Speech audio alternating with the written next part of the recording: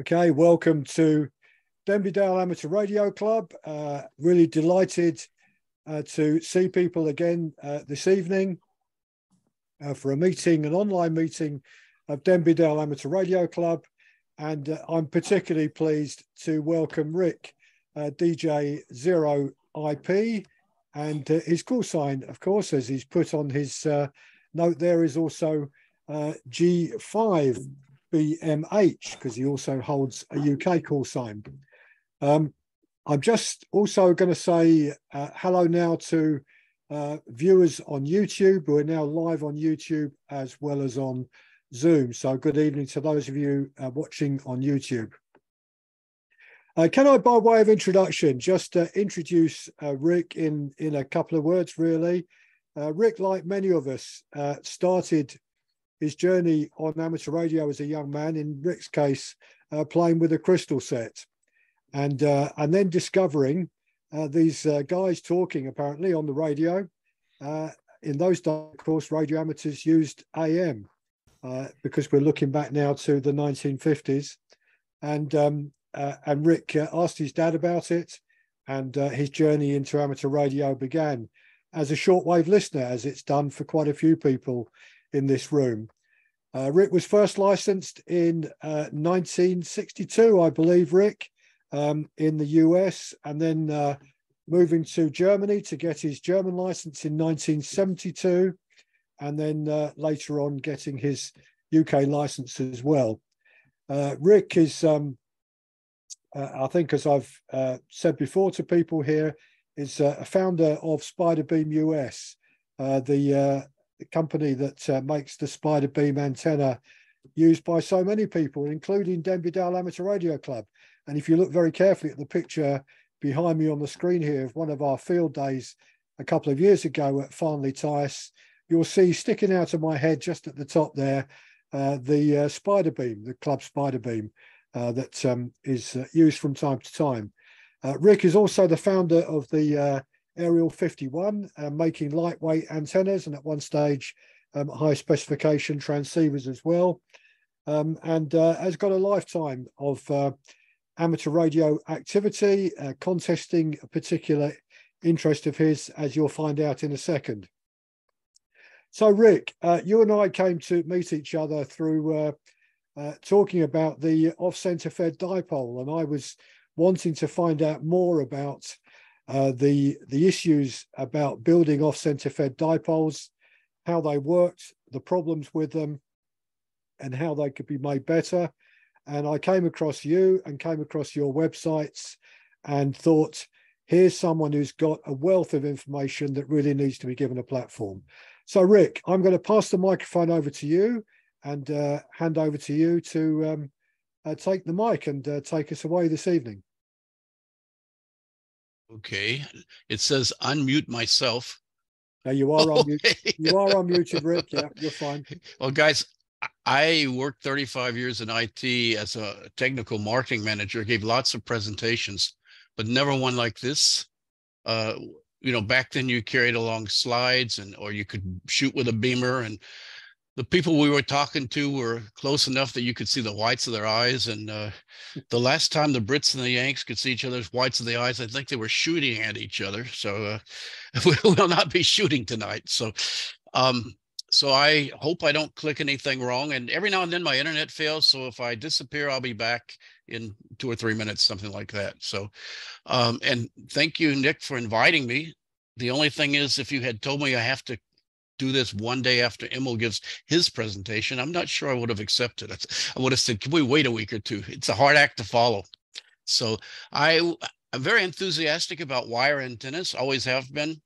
Not as enthusiastic as Emil is about his rock climbing and, and, and his activities and all that. So let's see, I just clicked something and nothing happened. There we go. Um, my ham history is all posted. I didn't want to get into a long dissertation on that. It's posted on one of my websites. I have three. All of the links are at the very end, the last slide, as well as a dedicated uh, email address for questions. So I'd like to get going. At the moment, I've got the menu blocking my view of my screen. okay, in part one, it's about what is OCFD and how good are they? why not OCFD? A lot of people hate him, hate them. So what are the alternatives? Uh, why does OCFD have a shady reputation? Is it uh, accurate or not? And uh, this is one extra for you guys in the UK, at least the Balun to be or not to be. How can the OCDFD work multiple bands without any traps or tricks or anything like that? And why does it not work 15 meters? show you some tricks for making it work. Once we understand why it doesn't work 15 meters, you'll see how easy it is to make it work on 15 meters. But now here's the kicker. I, am in several groups. Some of you are in the groups with me, different groups in Facebook or groups.io about antennas. And we're always hearing people say, I've built this or I've built that, and it works. And they list maybe three stations that they've worked. And they consider that work. And, you know, that's sort of a that's open for for dis, uh, discussion. You know, what is the difference between work and work right? And I plan to give you my view of that. And the most important part is not tonight. Uh, that's going to come in the next presentation, and I think it's about three weeks. And once we go through all the technology, then it'll be easy to understand why I do things the way I do, why I build the antennas the way I build them. Before we get going, I've got the menu again blocking my my my uh, part of my screen. But anyway, this presentation uses abbreviations, and the reason talking uh, you can't talk about OCFD antennas without talking about common mode current, and that's just too long to write out on every slide. So I abbreviated it CMC, which you know some people don't like, but um, so I define that this is RF flowing on the outer surface of the coaxial shield. The confusion is the, the acronym CMC elsewhere often means common mode choke. Well, I'll talk about the common mode chokes as well, but uh, I'll just call them chokes. And if I write CMC, I mean common mode current. More important, I think, is common mode impedance. This is the measurement in ohms of the ability of an RF choke or a balun to impede the flow of common mode current on the feed line. And the final term, this is one I invented. SWR min, and what I mean is the frequency at which we have minimum SWR, you know, on each band. And writing all that out with, was a mouthful and, you know, half a screen full. So I just came up with the uh, term SWR min. It's stated in megahertz, you know, so I don't mean, you know, two to one or three to one. I mean, you know, 3.562 kilohertz or something like that. The last one should be apparent. I, I use ATU and, and, you know, I like to say antenna matchbox. That's what we called them 60 years ago. Today, most people say antenna tuner or antenna tuning unit, all the same. I abbreviated ATU because once again, I don't want to write out long words. Now, a lot of what I tell today is going to contradict what you've heard or read or even done yourself. And uh, I've got a reason for doing it differently. And when I first put my presentation together, it was about three times as long as it is now. So I had to shorten it. So I took a lot of the information, which is basically just backup information with links to other the people I call gurus like W8JI and VK1OD and G3TXQ, etc. And if I have a page where I'm talking about technology and I don't want to go too deeply into it, I'll, I'll put this little yellow embedded in yellow link sign, which means if you go to the link page and for part one, it's this uh, URL. If you get the PDF, this should be active. You should be able to click it and go to it. So you go to that page, find slide number three, and there you'll find the whatever information I added in to back that up. The next thing I like to do is uh, quote a very, very famous American who lived 180 years ago. He speaks my kind of English because I'm from down south. It ain't what you don't know that gets you into trouble. It's what you know for sure that just ain't so. So,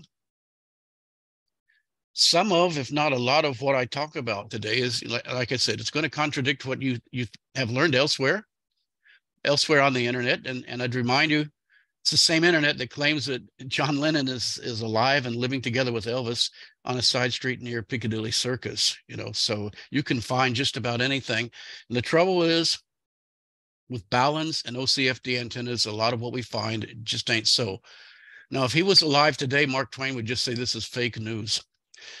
Basically, I'd warn everybody to be very careful in trying to learn about baluns on the internet, be careful to use reliable sources. Uh, these are the sources I used while I was learning. These are in alphabetical order. Uh, no particular order. The only thing is, if you're starting out and learning, I highly re, uh, recommend this. And like I said, the links, you go to the, the page supporting this slide, and you'll find links to the webs or blogs of these different guys. But this is a good place to start. Uh, Roy Lewallen, Lewallen actually, is it baluns what they do and how they do it. And uh, you're probably all familiar with the term voltage baluns and current baluns. And those terms did not exist before he wrote this document. It was published in the ARRL Antenna Compendium, Volume 1. And every year at uh, Dayton, he gives a presentation on baluns. And so if you really want to learn what they do, you should read this. Now, if you think you know pretty well what they do, you probably ought to read it again. And if you know for sure what they do, then for sure you ought to read it again and make sure that you know for sure because, you know, it's what you don't, it's what you know for sure that just ain't so. It gets you into trouble. So, like I said, all of these, I think every word these guys have ever written, I've I've read three to five times in my long path to learning what I learned about the baluns and the OCFD antennas.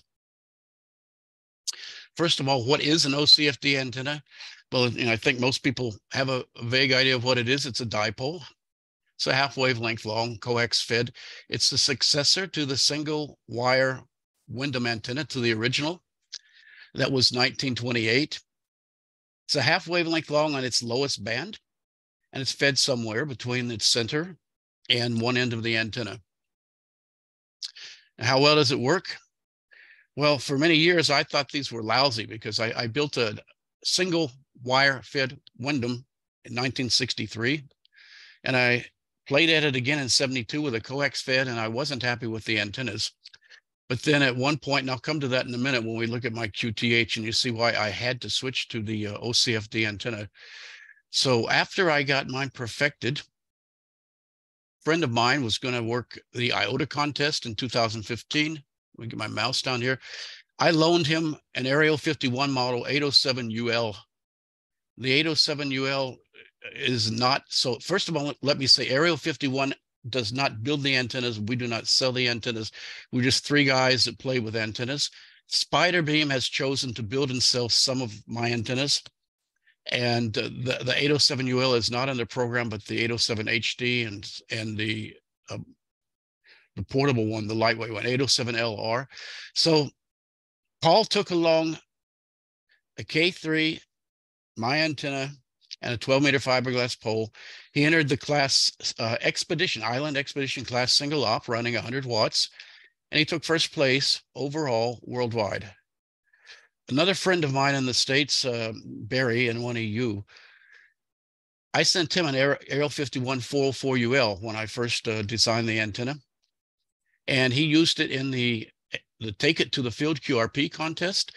We don't know this contest over here, but over in their side of the pond, the you know North America, South America. That's uh, quite a popular contest, and Barry took first place overall of all the operators. So, you know, I'm not saying they did it because of my antenna, but they certainly did it despite my antenna. Uh, you know, I mean, the you can't do it with a bad antenna. He probably could have done it with a couple of other antennas, but you can't have a bad antenna and, and win a contest like that.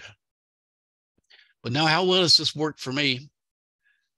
this is my beautiful QTH, and I call it Ham Hill. And I was living in the States, as Nick said, I founded Spiderbeam US. Um, actually, I moved over there from here, founded Spiderbeam US. And after four years, we were ready to come back, and I got someone that would take over my company for me. My ex-YL came home ahead of time. She was house hunting, but I actually found this location. I found it in the internet, looked at it on Google Maps, sent her over. She looked at it. She said, honey, it's beautiful. I said, yeah, but you know, we, we're renting. We didn't buy it.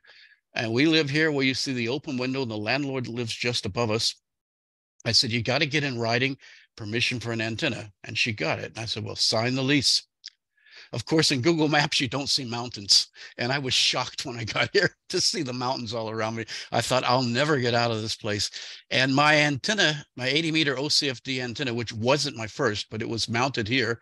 And you can see to to shoot stateside, I've got like about a 60 degree angle and towards Japan, about a 40 degree angle or something like that. Now I, have got a pretty good shot to the south, but uh, you know, actually that's where I need a mountain because the Italians are so loud. but the mountains are in the wrong place. So I'm a contester. Got on the air with my OCFD antenna, which was the second antenna I put up. Come to that in a minute. Here's a couple of years results. Lost the logbook here. I don't work so many hours. I didn't back then. 30 hours. That was my best year. If you've ever worked CQ Worldwide and you don't have a beam and all you have is wires, scoring a million points is a bit difficult. And uh, that was my best year. The next year, I didn't have time for the CW contest. The XYL had other plans. And just take a look at the run rates down here. It was so every 1.4 minutes, I had a QSO for 30 hours continuously, and every five minutes, a new country. So how does it work on QRP? And I, I love to work QRP. As Nick mentioned, for a short period, actually for about four years, I arranged a deal between a company manufacturing these antennas and Spiderbeam themselves to sell it. And at the time, I was working for Spiderbeam, and so we were selling these little radios. I think I said these little radios, and I was using the little five watt radio and a, you know, Aerial 51 antenna, the 80 meter OCFD, um, 15 hours on the air. These worked 54 countries on 80, 60 countries, actually 61, but I messed up a call sign on one. So you know, it's not proof that you have the greatest antenna going, but it does prove that it's not bad. You know, if you look at the run rates again, every 1.7 minutes was a QSO and every six minutes was a new country.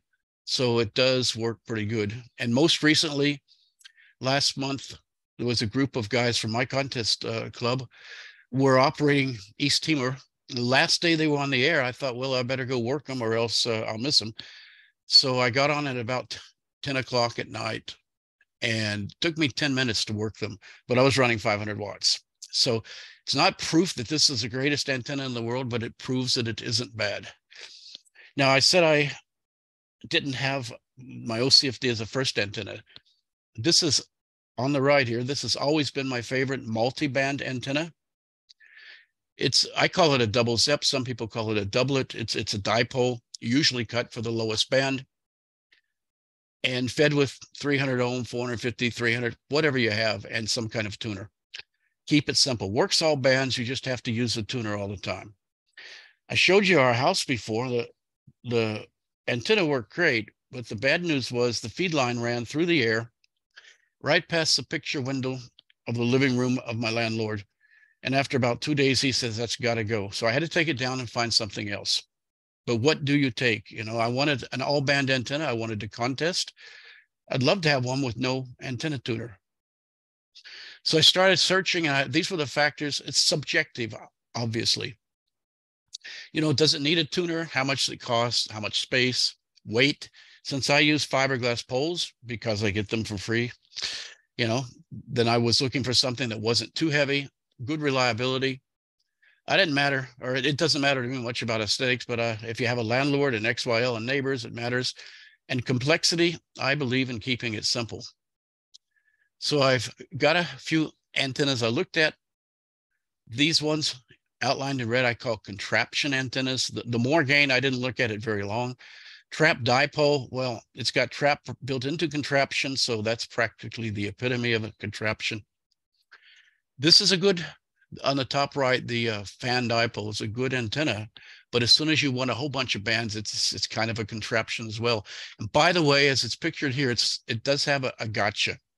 This slide was borrowed from Martin with his position um, permission, uh, DL what's a DL7ZB, and uh, I've got actually on this linked page a document where I examined all of these antennas, wrote lots of details, and then tried to be subjective and the advantages and disadvantages of each antenna. It ended up being a document 19 pages long, so you might not want to read it, but it does go into quite a lot of detail. Now, here's a couple of antennas that aren't so bad. I used this 50 years ago. I had a beam, so I only needed 80 40. It worked well until the traps waterlogged. So I said, well, traps really aren't the thing. I've never used the G5RV or the ZS6 BKW. And if I were going to, I'd use the BKW. Um, the reason was if you go to all this trouble, you may as well just run it a little bit longer and run the wire all the way to the shack. Just use a matchbox. Now, here's my least favorite antenna, and I would never use one. And for some reason, the entire internet seems to think this is this is the berries these days. Everybody's talking about end-fed antennas. I wouldn't have one. You've got CMC issues. You've got some other problems with it. And by the way, if I absolutely had to feed this antenna or any antenna off of its end, there's a better choice. It's called an end-fed off-center fed dipole. E, no, end-connected off-center fed dipole, ECOCFD. A friend of mine published an article on this in Radcom about five years ago. It's a Rob M0RZF. Uh, he didn't call it that. It's something about an end-fed Windom or something was the name of it. 2018, it was in a Radcom issue. And if you really want to find it, and if you write me, send me an email, I'll look up the the uh, the issue and you can look it up. So, like I said, uh, those were all the things I looked at, but you know, they're all complicated. And I like this, keep it simple. So I took another look at the OCFD antenna. It's just a wire with a balun in it. You know, you, you cut it open somewhere, you ins insert a balun. But why had I had bad luck with it before? I mean, I, I had the Fritzel FD4 and it was just, it was always down about two S units over any dipole I compared it to. The first thing I'd like to say, and no matter what you do, you must choke the the OCFD antenna. And I don't care what balun, unless you use a very special new type of balun called a hybrid balun, which has a choke built into it, you should always use an external choke. And we'll look at why that is a little bit later. And it's one of the biggest mistakes most people make when they build them is they, they don't do that. So this is the classic shown here. It's approximately to scale one third, two thirds overall length is it's it's an 80 meter dipole. This one was, and it works 80, 40, 20, and 10. A lot of people say, hey, it works even harmonics. And there's even some manufacturers, balun manufacturers, they claim this does not work on on 17 or 12 meters. That's absolutely wrong. This is an outstanding antenna, low SWR. It's a good performer. This antenna works in those bands. What it does not work is 30 or 15 meters. So, I mean, it looked really great, but as a contester, you know, I got to have 15 meters. I mean, th- th- without 15 meters, you're you can't work a contest really. At least you can't win. So the question was, why does it not work 15 meters? And well, the first thing you'd notice, 1928, when the the original Windom was designed, 15 meters wasn't even a ham band. You know, so obviously, but they weren't even really looking for for multi-band performance. They were looking for something else. But you know, there's obviously some technical reasons why it didn't work, and you, you got to find them.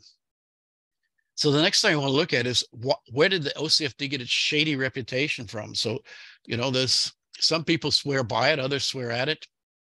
You know, some people think it's the greatest things in sliced bread, and others say, hey, it's a dummy load, it's a TVI generator, harmonic generator. Uh, what's the truth? Well, it's it's installation dependent. And I got into a bit of a, I don't want to say argument, but you know, Tom uh, W8JI, he he disagreed with this, but I'll tell you, I I've not actually had mine over a metal roof, but I've done this before, and even worse. You know, we've all learned you should always run your feed line perpendicular to your radiator. You can't always do that. Sometimes you do have to run it, you know, skewed off to one side, and that's when you start to get into trouble with OCFD.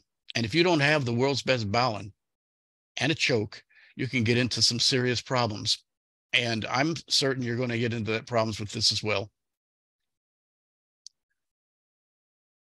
So the fundamental problem is this antenna is so susceptible to common mode current and much more so, far more so. And by the way, I've measured this and I've got posted on website measurements where you can see the difference. We'll look at a couple of things. So and you, if you don't have a perfect installation and a great balun, you can get into trouble. You can have a less than perfect, but it really must be a good balun. Here's the second problem. All of the manufacturers, almost all, there's a couple of exceptions, but very few, are running single core four to one Guanella baluns. At least they think they're running a balun. Actually, this is not even a balun. It's just a transformer. Why that is has been explained in detail by G3TXQ on his website, by W8JI, by VK1OD uh, on his blog. And I can even show you my measure results, which prove that it does not work. It's just not suitable. The simple fix, of course, to these problems is just use good balun and choke technology. Unfortunately, I don't know of any commercial vendor that's doing this well enough. I know two that are building pretty good hybrid baluns that sometimes work, but not always. And of course, the Spiderbeam one does. Uh, you know, I designed it and it works like I designed it. Been tested by a, a German magazine. You can read the magazine article in English on my website. So until the OCFD manufacturers do, you know, do their homework and, and fix these baluns, they're, they're never going to get the antenna right. An easy solution is do it yourself. And this is easier than you think. The biggest problem everybody says they have is the balun, you know, and it seems like everybody is scared. Okay, I learned yesterday from Emil it's allowed to use this word. I wasn't sure, but they're they're scared shitless to build their first balun. I was too. You're afraid you're going to mess something up. You're not going to get it right. It isn't going to work right. So I never met anyone in my life that was not afraid to build the first balun. And likewise, I never met anyone who was afraid to build their second balun. After they did it, they laughed at themselves. It's so darn easy. And we'll learn how to do that, but it's going to be in part two.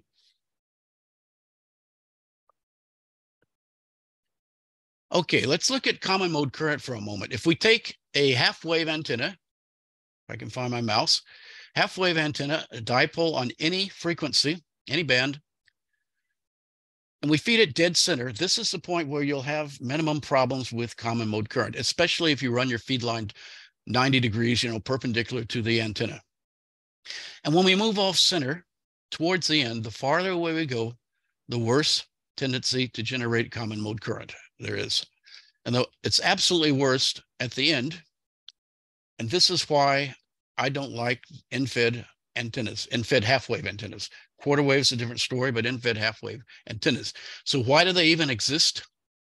Well, they were called a Hertz antenna and then a Marconi antenna, and, and they were used on Zeppelins.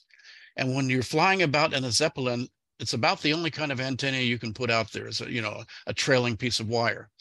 But I don't know any hams that fly Zeppelins, so I don't see why they insist on using end-fed antennas. This text just says what I just told you. So let's move on to the next. When what really happens? Why does the, an the antenna perform so poorly whenever it has common mode current on it?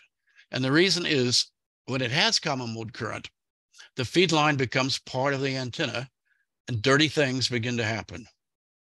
And uh, contrary to uh, what some people think, that's not my Anyway, the expected antenna characteristics are distorted and skewed, and they can be severely dis distorted. The frequency of minimum SWR shifts. It usually shifts upward, and it can shift several hundred kilohertz upwards. The level of minimum SWR changes. It can get better or worse both change when you, you change the length of coax. And this is the kicker. You, you build an antenna at home, you tune it, and if it has common mode current on it, you think it's you know tuned for resonance or or actually for SWR minimum. Then you take it someplace else to the field and it doesn't work like it did at home because you change the length of coax. Sometimes you even lose coverage of a single band or, or two bands. And you'll have RF on the feed line. I think everybody has knows that or has experienced it and it can radiate all the way to the shack. I'll show you in another few slides how just how strong that can be. The chassis, the mic, the key may all be hot. At a very early age, 50 years ago, I switched from a metal mic to an all plastic mic for this reason. So I used for many years a Shure 444, all plastic, and that that that cured the hot lips problem. But I've also had problems with circuit breakers, especially in Ten-Tec power supplies, circuit breakers tripping to fault, and consumer products in your house may be affected, and, and your neighbors may soon be pounding on your door and they won't be bringing champagne.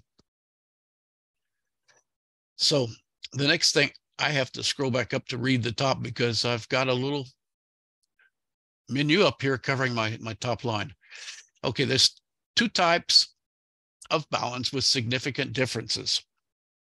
Oh, and by the way, I am sort of fighting off a cold and my voice is kind of scratchy. That's why I keep drinking tea. So we have two types of baluns, and I guess everybody knows this. Maybe we haven't called them that, but you'll recognize them. The, transmission line baluns, it's a one-to-one baluns. Now, I don't know if I can find myself um, here.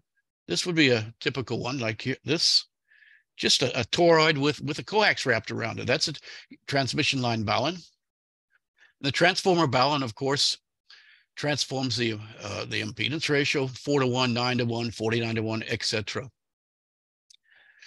Now, with these transformer baluns, again, like this, the good news is you have a coax coming in one side and out the other, and the power is transferred or the energy is transferred just through the coax, inside the coax. It's a wired path. With the transformer balun, it's transferred via flux coupling between the conductors, you know, from input to output. So the balun core is at least partially involved in the energy transfer, and you always have some loss. Now, all of the info on this page is taken directly from Tom Rauch, W8JI, from his page. Suggest you read that. Mean, this is just the highlights. The good news with the transmission line balun, because everything is just flowing right through the coax inside, it's hardly affected by the amount of power uh, nor by a mismatch. Unfortunately, transformer baluns, power and mismatch range limited by magnetizing forces to the core. So, and this, this is how Tom summarized it. By the same size and quality of material, transformer baluns handle less power into match loads and significantly less power into mismatch loads than transmission line bal baluns do. So keeping that in mind, we're going to look at the, the ideal, sorry to run it up and down, but like I say, but I can't get rid of this, this menu here. No, I don't know how to get rid of it. So it, it always blocks my title, my slide title. Okay, anyway, the transformer, excuse me, that the OCFD balun must perform two tasks, transform impedance and impede the flow of common mode current. And by the way, the one on the right, this is the primary, this is secondary. If we look at the transformer baluns taken from what we saw on the previous slide, uh, first of all, they have only moderate CMI. Uh, I'll show you why that is actually in the next slide, but they have moderate CMI compared to the uh, transformer baluns. Excuse me, compared to the transmission line baluns. These work best with low permeability, but we need high permeability to get high uh, CMI. So it's, you know, it's uh, counterproductive there to use it. But here's the important thing. The CMI degrades when the SWR rises. Well, we don't always have perfect SWR with an OCFD antenna. And so if you have higher SWR, the CMI degrades and then more common mode current starts to flow and that warms the core. And as it warms the core, the CMI degrades and you have uh, more common mode current, and you can eventually get thermal runaway.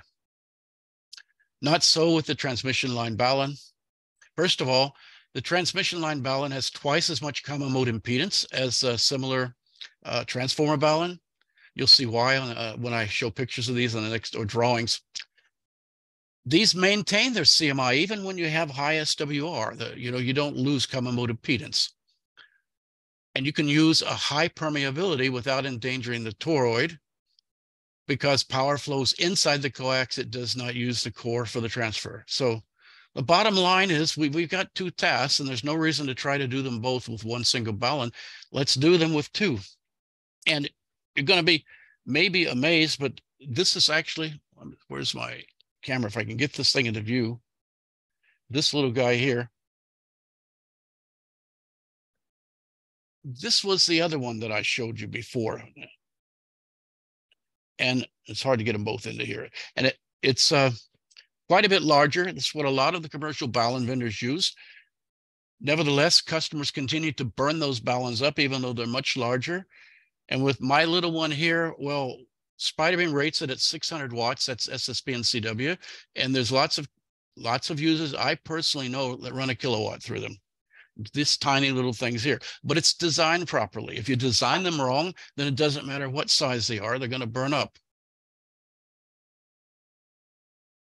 So the main problem is the balun. And as I said, almost all commercial OEMs are building these wrong. They don't understand the unique CMI requirements of the OCFD antenna. I did a field test in 2013. It lasted three weeks. Uh, to prepare for that, a lot of a lot of people, some of you might know, helped me. Um, G3TXQ was very helpful. G3UNA was very, very helpful. In fact, he kind of held my hand every day by telephone and email. And he was friends with um, Ian White at GM3 SEK, and Ian gave me lots of information to prepare for the test. I made 500 measurements, and we're going to look at a couple of them in a moment. But what I discovered was the common mode current problem with OCFD antennas is like 95% on its fundamental. And whenever you go to the higher harmonic bands, it just suddenly falls off dramatically. You don't need anywhere near the common mode impedance on the higher bands that you need on the fundamental. So you don't have to build a broadband balun. You have to build a balun that has a lot of common mode impedance on the fundamental band. This is what the, the OEMs, the vendors failed to do. Uh, so some of them, though, they don't even understand how the four to one Guanella balun works because they're still building baluns that don't work right, the single core. But as I've written here, in my opinion, it's not their fault, and you're going to be surprised to see what I put up next. Now, Jerry Sevick has written W2FMI, an outstanding book over baluns. It's basically about how to build baluns. The book is excellent. It has a couple of mistakes and a couple of a couple of serious mistakes in it, and this is one of them.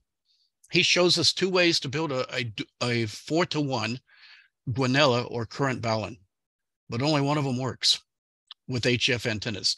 And the kicker is with HF antennas. That's what he left out. That's what he failed to say. Now, Jerry worked for Bell Labs, and all of his work was done on, on, on networks, and the networks were floating completely ground independent. Well, HF antennas are not ground independent. And this is explained very well in detail with lab measurements and mathematically by G3TXQ, W8JI, VK1OD.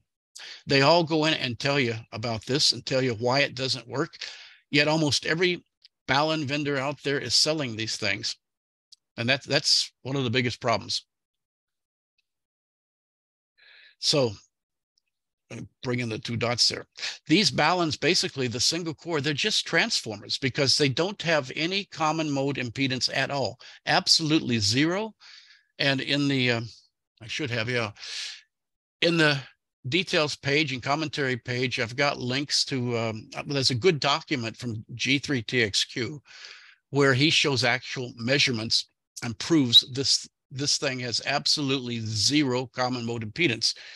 And the antenna, probably the antenna, the biggest antenna in the world that needs a good balun, this is the worst balun you could possibly use. And this is what many of the people selling them, especially on eBay, this is what they're using. That's where the bad reputation comes from. So the lynch pick, to success or failure, it's the balun. And with few exceptions, the four to one, the dual core four to one Guanella balun it, it doesn't have enough CMI to impede the common mode current. And the reason is what I said earlier. It has only half as much CMI as a one-to-one Guanella or one-to-one current balun. Now, there's a few exceptions, very few, where that's enough, but almost most of the, the antennas we're going to want to build, it's not going to work by itself. Simple solution, of course, would be to use a choke. It's a bit more detailed than that. And we go into detail in part two, all about you know what material to choose and why that one and why not something else and how many turns of this or that that's all in part two. If you use a one-to-one choke balun together with your four to one balun you're going to be okay. Even if oh i shouldn't say even if if you're running ssb and cw if you're running data modes you probably use the wrong core in your four to one balun and you can have problem you can have thermal runaway. And we'll get into that too later so most commercial four to one baluns are inadequate. Many are even worthless. And this is a part that I said I was going to explain the differences and, and show just why they're so bad.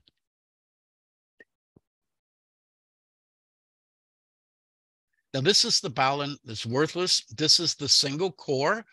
You've got two transmission lines. You have to have two transmission lines, but they're both wound on the same core. They have more turns, of course, but uh, you know I drew these by hand. So, and this is a good one. Here they're so small I couldn't, I didn't manage to, to wind the, the wire should be wound around like shown over here. But as you can see, each transmission line has its own dedicated core. This is a good balun, much better, 100% adequate for many antennas, but in most cases inadequate for the OCFD antenna unless you add a choke. And the problem is if you built the thing like most people recommend with number 43 uh, ferrite, it's got a low Curie temperature. It's going to work okay in sideband, but if you're running digital modes, digi modes, you're going to find out that your baluns starts, uh, well, the SWR starts creeping. It's called SWR creep. And eventually can even get thermal runaway and eventually even break. So this bad balun over here, now, now like I said, the gurus of the industry, they, they explain why, and there's links on my web website to, to, to read about them. The way this thing works, so in general, is you've got two one-to-one baluns like we see on the right, and here they're both on the same core. And we wire their inputs in parallel. If, if this is bifilar or twisted pair, it's a, about 100 ohms. So you get about 50 ohms on the left wired in parallel.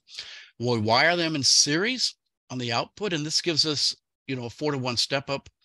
It gives us, you know, 200 ohms on the output so the first problem you see is if I wind, let's say I, I wind 10 turns over here on each of these, and I wind over here. I, I, first of all, you usually can't get that many turns on this because you've only got half of the space to do it. But the problem that you have when you've got inductors in parallel like this, inductance in parallel and they're both equal, then you have half the inductance. So for the purpose of common mode impeding, you only get half the inductance or the common mode impedance practically out of this transformer balun that you would get out of this the uh, single core. So if I'm getting like 8,000 ohms, which is feasible out of a single core Guanella, I'm getting only 4,000. Now, in certain cases, that's enough. Other cases, it's not. And we'll look at that in detail later. This is another one where I missed it. So one core versus two core. Okay, now we're going to get into the to be or not to be. You know, when I first heard about this was 12 years ago when I was looking into building my first OCFD. And a friend of mine pointed out that Tom Rauch, W8JI, explains and says that, you know, that we should not use a single core. And I said, well, why not? You know, because every man and his dog is publishing designs for single core baluns, four to one baluns on the web you know, what's the reason? And so I sent an email off to um, Tom, and uh, that was 12 years ago, and I haven't gotten an answer yet. I just asked him, you know, well, how much difference does it make? Surely it can't be that much, or people wouldn't use it, and the balun vendors wouldn't build them. Well, the bottom line, it is that much, and the, the silly balun vendors are building them. So now let me show you what I did. Now I, I said, okay, if nobody's going to tell me, I'm going to find out. So I devised a test to test this. I sure wish, I sure wish I could make this thing go away. I can't.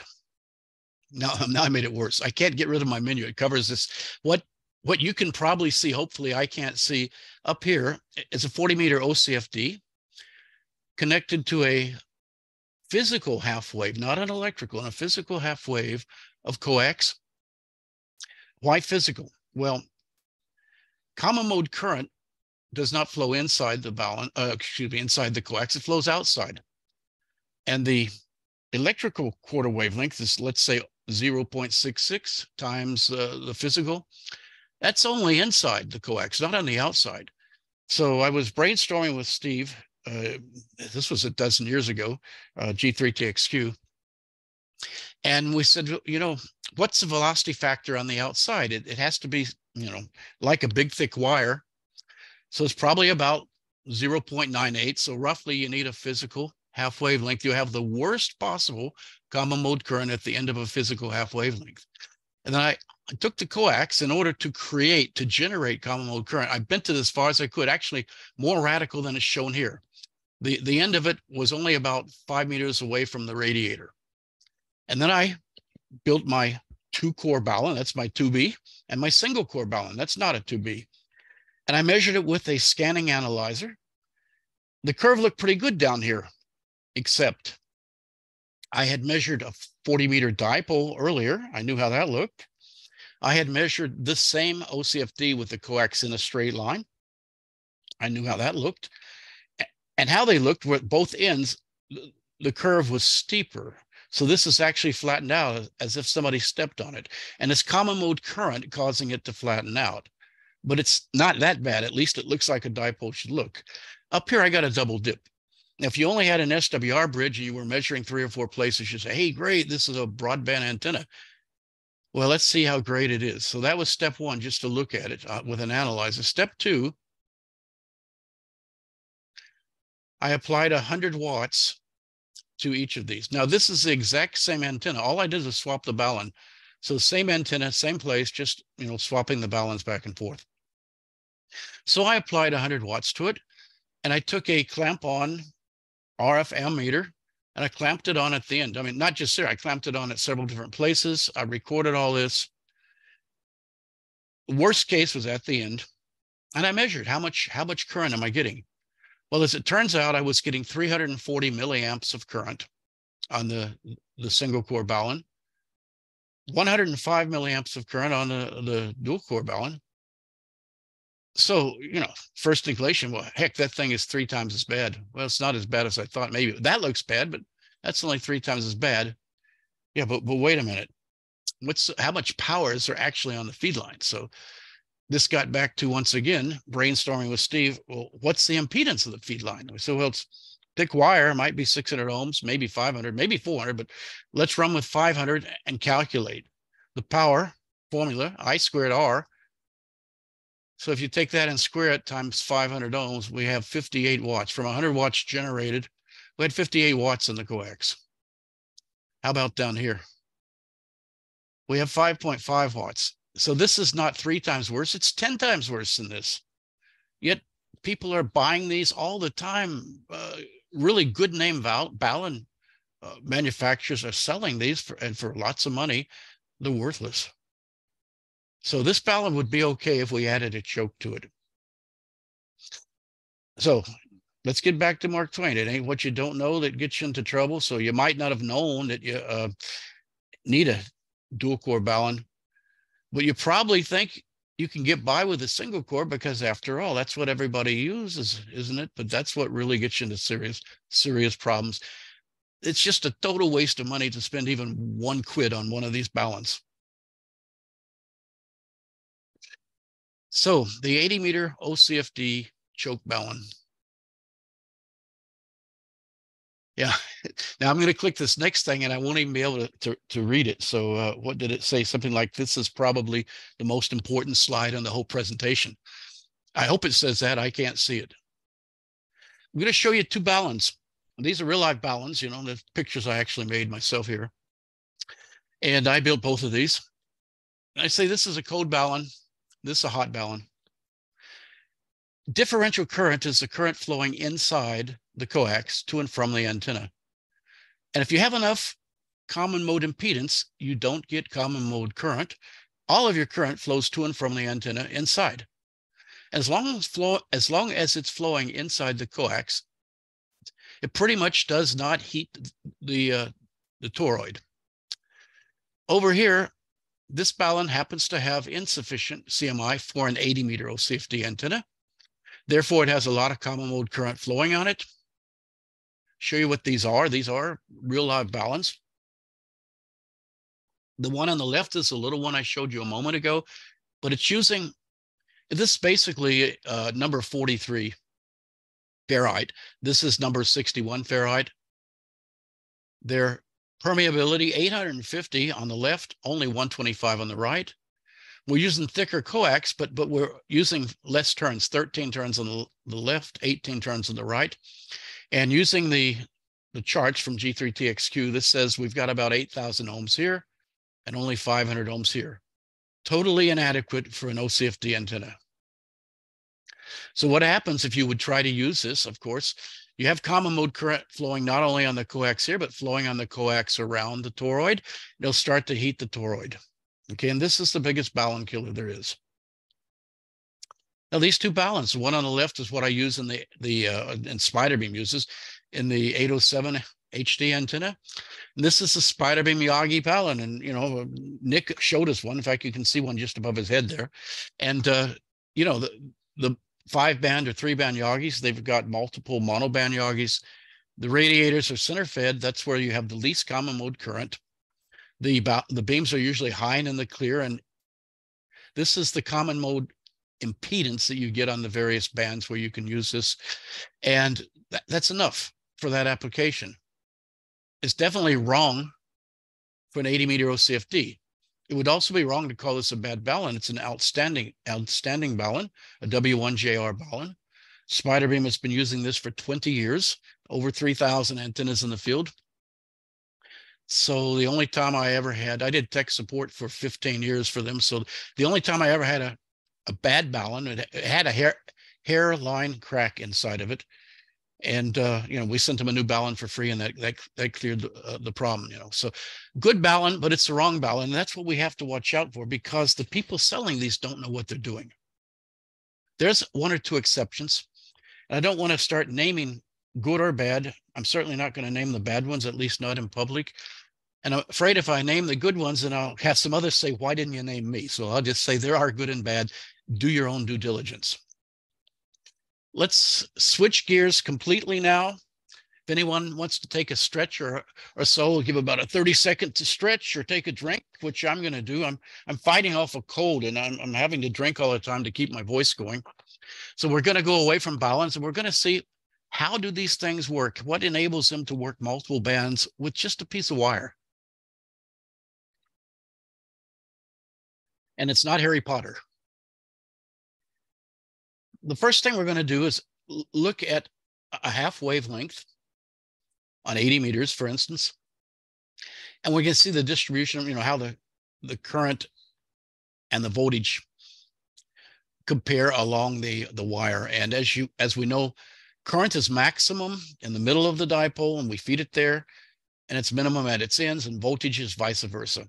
We also know if we feed it here at this point, we've got an impedance of about 50 to 70 ohms, something like that. It depends on the height above ground and the ground as well. Now, it makes no difference where we feed this antenna. We can feed it in the middle, in the end, or anywhere in between. Let's give it a place in between. Doesn't matter where we feed it. This relationship, voltage and current, it remains the same always. What changes, of course, is, is the impedance when we move along the axis here.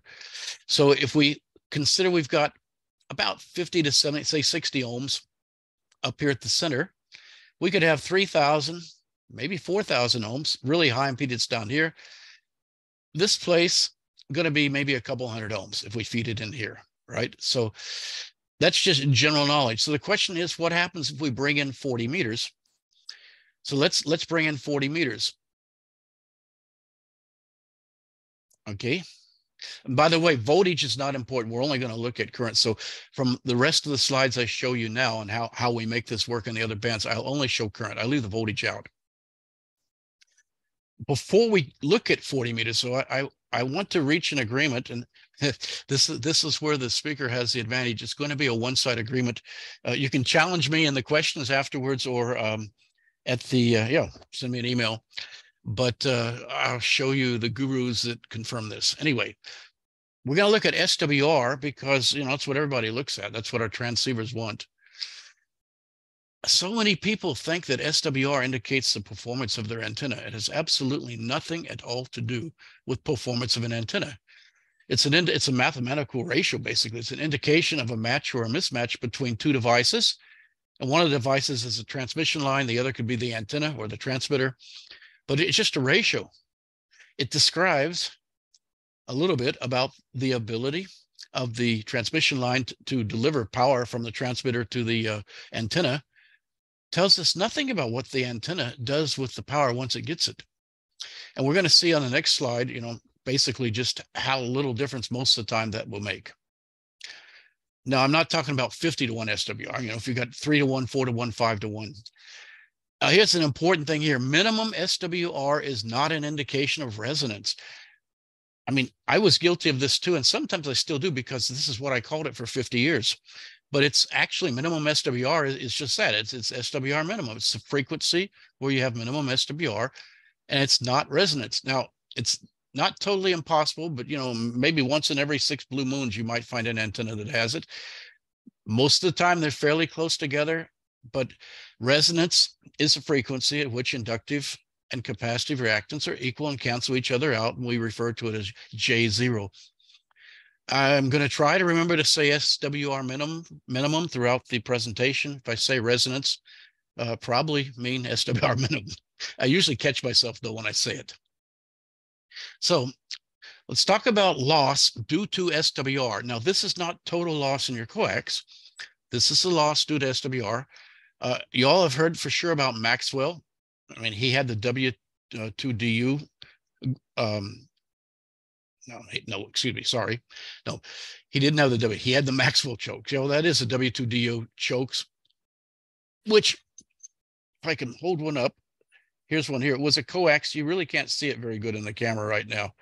I'll switch cameras later and you can see them closer. Okay, those were the chokes he came out with. But anyway, he wrote a book and it's it's pretty much considered the Bible of transmission lines. And on page 1.8, he put this chart in here. It's the additional loss in dB due to SWR.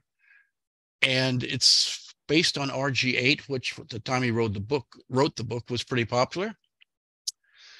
And if we follow this up, and you know, 100 feet of RG8, if we follow this up at 3 to 1 SWR and we see where it crosses 4 megahertz and where it crosses 7 megahertz, we come across over here. It's less than 0.2 dB on 80, and it's about a quarter of a dB on, on 40. That's a 3 to 1 SWR. Of course, it's a little bit more complicated than that because there are other types of coax. So on page 1.3 of the same book, he has this chart. You'll find this chart in every issue of the ARR, ARRL handbook. And basically what you do, you take your coax RG58, look up its loss for 100 dB, not 100 dB, 100 feet on the frequency you want to use it on. Let's say it's 2 dB, and you say you have an SWR of 3 to 1, so you just you go up the 2 dB line to get 3 to 1, and then you go across the left and you say, I've got 0.8 dB. You know, and so that's how you can see the loss with um, it's the match loss plus the it's a total loss basically. It's the SWR loss plus the uh, no wait a minute, excuse me. This is the additional loss. I've, excuse me. So you would have 2 dB in the coax in general plus 0.8, so it's 2.8 dB. Sorry. Also interesting in the every ARRL handbook, they've got a page where they talk about several myths about SWR. And one of them tells you, you know, with a, a standing wave ratio of up to six to one, with good coax, and in most reasonable links we use it, you know, city links. Nobody on the planet can hear the difference between that and a perfectly matched uh, antenna. And if you follow this link on the, that page, you can read the entire thing. And as I say, I tell you how to look it up in any handbook. So people highly overrate the loss that they're going to get an SWR, and they think if they have two to one SWR, they're they're losing half their power, and it you know it's just not true. Okay, so now we'll continue with how we add bands. It's very simple. So this is 40 meters. If we look at the same wire, we, we transmit on 40 meters. It's now a full wavelength. So we have one complete cycle, a positive and a negative half cycle. 80 meters had maximum current here. 40 meters has two maximum currents. Each, each half cycle has a maximum at its peak. And the good news is, uh, you know, the magnitude, whether it's positive or negative, doesn't matter. The radiation intensity is equal. So to get a better view of what's going on, I'm going to look at the absolute value of all of these sine waves for this and all other bands. We'll just flip it upside down, the, the half wave. I blew it up a little bit bigger. So here you can see the two half cycles and notice that they intersect at two points. 33.333% from one end and then 66.666 from the other. But in the other way around, it's 33, etc. So one, one third the way in from either end, we have a point of intersection. Now, this was determined, gosh, in this, in the 60s by K4ABT. Uh, he's silent key now, of course, but uh, to my knowledge, he was the first person ever to feed an OCFD or to feed the, feed the old Windom with coax.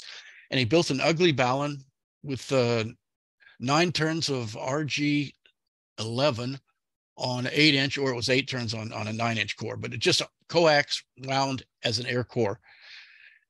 And but later he did a lot of measurements and he said for an OCFD antenna fed at one third, if it's lower height, let's say 30 to 40 feet, so typical city heights, it's more like 230 ohms. As 90 to 100 feet, it's around 280, 285, something like that. And so I'd say, you know, most of the time we're, we're down in that area. But that's only for these feed points. If you move the feed point, it changes. Let's look at the next band. When I bring in 20 meters, we're going to find four half cycles. Two of them cross at the exact same points. Well, you know, when they're crossing at the same point, the current is equal, the impedance is equal. So if we feed it there, whatever the impedance is, it's going to be the same on all bands. And that's great. Sounds great, but it doesn't have to be exactly the same. It needs to be close. Let's bring in 10 meters. I, I left 15 meters out. Bring in 10 meters. It's in green. It's difficult to see. However, Notice it crosses at the exact same point again. Now, all of these curves, I drew these manually in PowerPoint. Um, I, later, I, I learned to do this, and I'll show you that with a software, a special program for this. But uh, this was all, I did all of this 12 years ago. I've redone it since then, um, did it all in black, black and white back then. So this is pretty cool. Everything's crossing at the same point. We feed it here feed it with a balun and we've got 80, 40, 20, and 10 meters. Yeah. What happens when we bring in 15 meters? And as you recall, I said earlier, 15 doesn't work. And you know, we're going to see why. It's going to be obvious why it doesn't work. When I bring in 15 meters, I'm going to I'm going to leave off 10 meters. Just keep in mind it it passes through the same points. But the the graph would be too busy if I showed it. So the dark black is 15 meters, so we have six peaks. If we look at our two points of intersection, the other bands all cross there. At that point, 15 meters crosses the zero axis. And of course, the formula for resistance or impedance, Z is equal E over I. If you divide by zero, you get infinity. Not really infinity, but you know, it can be really, really high. You know, so you've got very, very high SWR there, and then you will real high SWR, like 20 to 131, you do get a lot of loss in your coax. Yeah, so this is the reason that 15 meters doesn't work. Now, one of the guys, the guy who sells these bad baluns, and he's got a he's got a real reputable company, but we had a little bit of an argument recently, and he said the OCFD antenna was designed to work only on on even harmonics. Total utter nonsense. I mean, ridiculous. It has nothing to do with even or odd harmonics. Very simple mathematic. 3.5 megahertz for the 80 meters times two is seven, times four is 14, times six is 21. And 21 is a sixth harmonic, and that's an even harmonic. It's not an odd harmonic. So it has nothing at all to do with that. It has everything to do with just how the current is flowing at that point.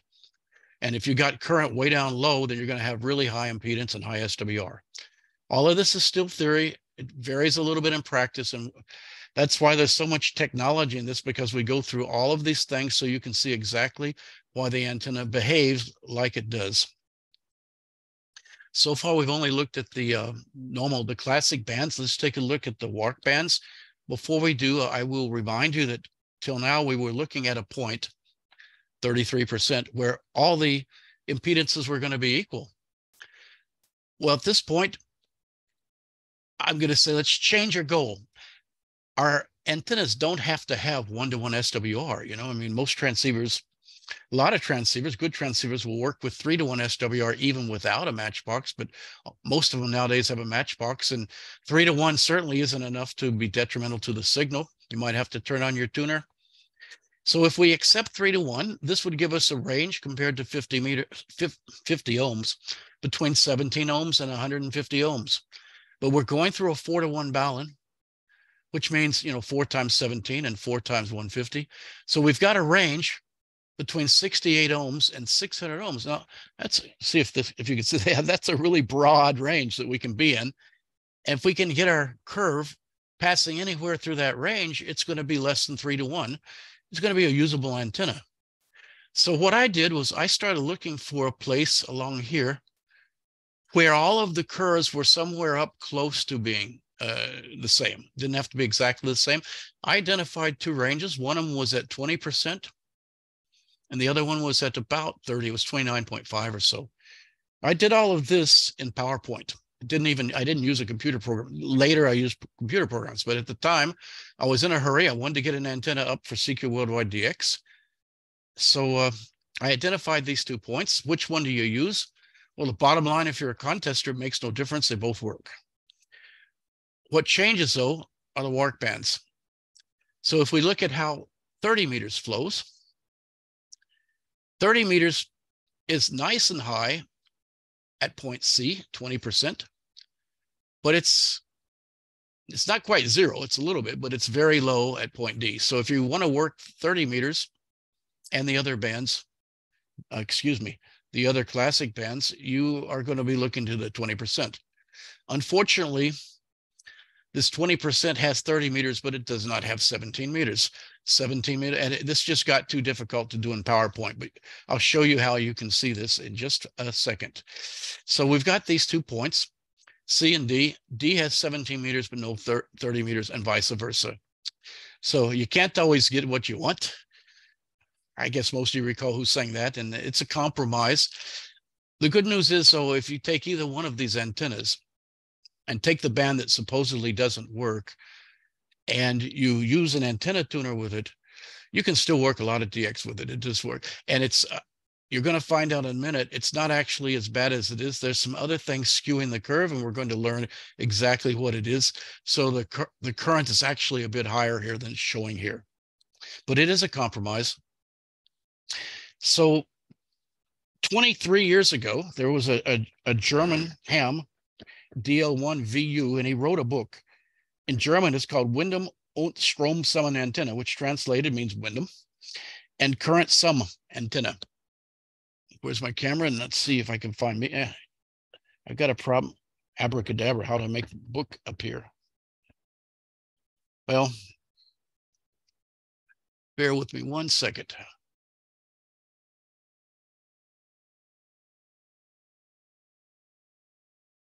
So change cameras. That must be my background. So this was his little book. That's not going to work. Excuse me. Anyway, in that book, it was all about Windom, those the old single wire Windom, but then about the coax fed Windoms, and you could learn all about the the history of the Windoms and so forth. We'll go back on the other camera. But he also had a nice program in there for for predicting where to feed it. Trouble was, it was in DOS, and you know typing in manually 100 lines of code in dos i figured i would never manage without mistakes i just didn't bother.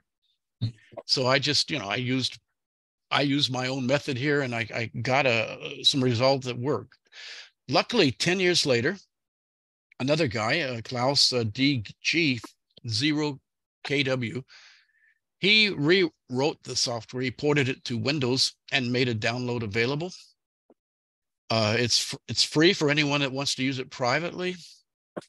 So I've got a link here. If you go to my web page here, you can download the software. You can download the, the user manual. That's the good news. The bad news is it's all in German. And then if I can get, there we go. The good news is though, I, I have translated the user manual from German to English. And that's posted on my website. You can download it there it's pretty easy to use the software once you understand what you have to do. Oh, Nick, I think we've got that echo again. Uh, hello, Nick. Oh, I don't hear you, Nick. Turn on your no, mic. No, that's okay. No echo. It was someone's, okay. someone's audio popped up. Oh, okay, okay, great. So I've written the manual into English or translated to English, and then you enter the data like what bands you want and so forth, and you know what's the thickness of your wire and etc. You enter that into a template. The the uh, slots are all labeled in in German, and I've I've translated it into English. So if you print out my template with the English translations, it's very easy to see you know what you have to enter in each of the slots and after you've done it two or three times, you won't even need to look at it anymore. You know exactly what to do. So, and you can download all of this on my website. Follow the link here. That that link takes you to, as I said, information page for slide 28. But this link here, and, and there you'll find a repeat of this link. So either one will get you straight to that modeling software. Of course, there's other software, EasyNEC, which uh, most people work with a few months after I built my antenna, a friend of mine uh, modeled it. It's DJ18T. And he came up with this. First glance, that looks outstanding 80, 40, 20, 30, 20, 15, 12, 10. I mean, what more do you want? Actually, it's not quite as good as it looks because what you don't see is the exact frequency. And it turns out 30 meter band is slightly to the left here. Okay, so this was measured on my to the first one I built. I mean, the first year I measured it with my um, um, MFJ 259B. So I took about 100 data points and I, I drew the charts manually. It was ugly. The second year I, I splurged and I bought a, a scanning analyzer, a Rig Expert AA54, and that made things a lot simpler. You could really see the curves. Here you can kind of see 80 meters was a bit low in the band and 30 meters the peak is above the band. 20 meters wasn't bad, 15 wasn't bad, 12 peaked below it, but it's still quite low. All of these are below two to one. And I ran CQ Worldwide DX contest, barefoot with the transceiver with no tuner, or with my amplifier with no tuner, no problem. Switch bands, no problem. Problem was 17 meters. 30, you might have needed an antenna tuner, but it's not a contest band. So how do we know where to feed the antenna? Well, as I said, there's antenna modeling software. And in my opinion, there's no need to model the software. I generally, I've never modeled with NEC. I use that other software, but I see no need to model it because every man and his dog has already done it. And John Young, gosh, 15 years ago, or well, maybe 12 years ago, a long time ago, he modeled it, made models for 160 meters, 80 meters, 40 meters at a couple of different heights basically he modeled to the cows came home. He came up with an Excel spreadsheet, published all of his data into a spreadsheet. There's about 6,000 data points in here. As he modeled it for each band, you know, all of the, we've about eight bands or something like that. And then he modeled it for 50 ohm feed point, 100 ohms, 150, 200, and 300 ohms. And, you know, you take that many different, and then he modeled it in half percentage increments. You know, at the end at 0 0 0.5 1 1.5 not exactly uh, you know even numbers but every half percentage he had another model. So we, we come up with about 6000 and you can see absolutely nothing on that. But having been in marketing and you know business management i learned to work with Excel and it's got a nice feature called hide. It took me about 10 or 12 hours to go through it. Everything was 50 ohms 100 ohms 150 ohms i hid. I only looked at 200 and 300 ohms. And then I went through on one of the charts, he shows like every 100 kilohertz in the band. So, you know, I blocked most of that out too. And I just looked at it briefly and I said, wait, there's no point in looking at 300 ohms. It's, it's not better anywhere. So I got rid of all the 300 ohms and I finally came up with a, a nice little chart like the one on the right you know, nice overview, had all you know, my short list of what I might want to use for 80 meters. And here it's very clear to see exactly where you want to go after you blow it up. And so when you blow it up, you can start looking at how it is across the bands. And basically the contest bands interest me, but I didn't want to have it too far off on the, uh, the, the bands. As I said earlier, there's two points. This is down around where I had point C, and this is up around where I had point D is I said, okay, let's let's focus, let's hone in on these two places. So I brought those in.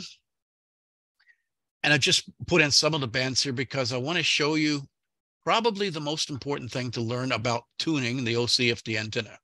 And that is, we look at 20 meters and 15 meters, we're going to see why we tune OCFD antennas by observing these two bands, not by looking at 80 or 40. We look at these two bands. Okay. And what you see is if we move the feed point closer to the end, 20 meters gets better, 15 meters gets worse. Okay, 12 meters gets better too. We go the other direction, vice versa, 15 better, and these two get worse. Now, if we move up to the other range, it's still the same scenario, but it's opposite. Closer to the lower number, 20 and, and, and 12 get worse, 15 gets better, and vice versa. So which feed point is best? And the, there's no right answer. It all depends on what you want, you know? And if you're an SSB operator only or a CW operator only, you might want to be 0.1, 2 or 3% different from, from these. And, you know, like I said, he only did about every half percentage point. So uh, I actually ended up through my field work at 29.7. So that's where I put mine. But uh, you, you basically pick something here, you build the antenna, and like always, you leave the ends a little bit longer, you fold the wire back and you go to the field and you start measuring. Now, once again, here's the link to all of these, to these tables to the original tables, to the files. You can download the, the Excel files at that link. If any of you are in any of the antenna groups, and I know some of you are, I recognize your call sign. You've probably seen this dozens of times. This is what, for some reason, all of the guys like to do. They build an antenna and they show this lousy graph because you can't see any detail, you know. First of all, this first one I took with a uh, Okay, this was with my new analyzer. The first time I did it, the analyzer only measured 100 data points. So if you scan 30 megahertz, your data points, your measurements are far, far off and it just interpolates in between. So it's going to be off quite a lot. This one was fairly accurate because it measured every 60 kilohertz. But the problem is you can't really see much on the bands on these little things here. So that's why I say this graph is worthless. Other than it, I always do it. I always measure this. It's just a quick look to see is the antenna working or not. Because a couple of times I, I did the scan and the graph was up here at 10 to 1 and it went straight line all the way across. And I had a, a bad solder connection and a coax connector, you know. So it's it's it's a quick sanity check, but it tells you basically nothing. So if you want to know how your antenna is working, you have to really look each band, look at each band one at a time so I, I use 250 data points here, which gives me a, a measurement every four kilohertz. The 807 HD is, is my, well, I say my design, Spiderbeam sells it. They sell different versions of it. This happens to be the US version. So it's, you know, the uh, minimum SWR, I almost said resonance, minimum SWR is up around 3,800. We have another one for general hams and technician hams, it's resonant up around 3,900. So the uh, next, not resonant, minimum SWR. So the dip is moving up here. We also have, um, we can put the dip in the digi band or the CW band, you know, well, actually the, the same down around 35, down around here, have the minimum SWR. 40 meters is the same, or the, the other bands are the same. The What we do to move this does not affect the other bands. And we'll see how to do this towards the end of this presentation. And we'll learn how to build it yourself in the next presentation. So here you can see in 40 meters across the whole band, even up into the US band, below 2.2 to 1. If we look at 20 and 15 meters, we're below. This one goes a little bit higher here. You could uh, let me come back to that. When I went to, to uh, 10 meters, I had to increase the scan to three megahertz because, uh, you know, it's a wider band. What I want to focus on is 15 and 20 meters. Here you see 20 meters, it's, it's worst SWR is on the high end of the band. And on 15, the worst is on the low end of the band. So if we were to make the antenna longer, then that would bring 15 meters in a little bit better, but it would make 20 meters even worse. And if we made it shorter, vice versa. That's why I say we have to tune our, our trim, prune our antenna by watching these two bands. And it's every case, regardless of where I put the feed point, it was always this case. And by the way, if you're moving the feed point inch by inch, you also find these two move in opposite directions. So forget about wondering where to set your antenna on 80 meters. You set it somewhere low below the band. I'll show you, you know, where I recommend setting it, leaving extra wire, but you tune by watching these two bands. Now we're going to come to a fun part, and I'm going to debunk the myth that the OCFD is uh, a, is a harmonic antenna because it's not, but it almost is. Let's say you work SSB on 80 meters. So here in Europe, we want to put it at 3,700. Well, the second harmonic is, is you know, 7.4, 14.8, 22. All of these are outside the band. And for the States, we put it at 3,800. We're way outside the band. If we, if we put our, you know, SWR minimum for CW and Digi, Digi down around 3550, we get it inside the band.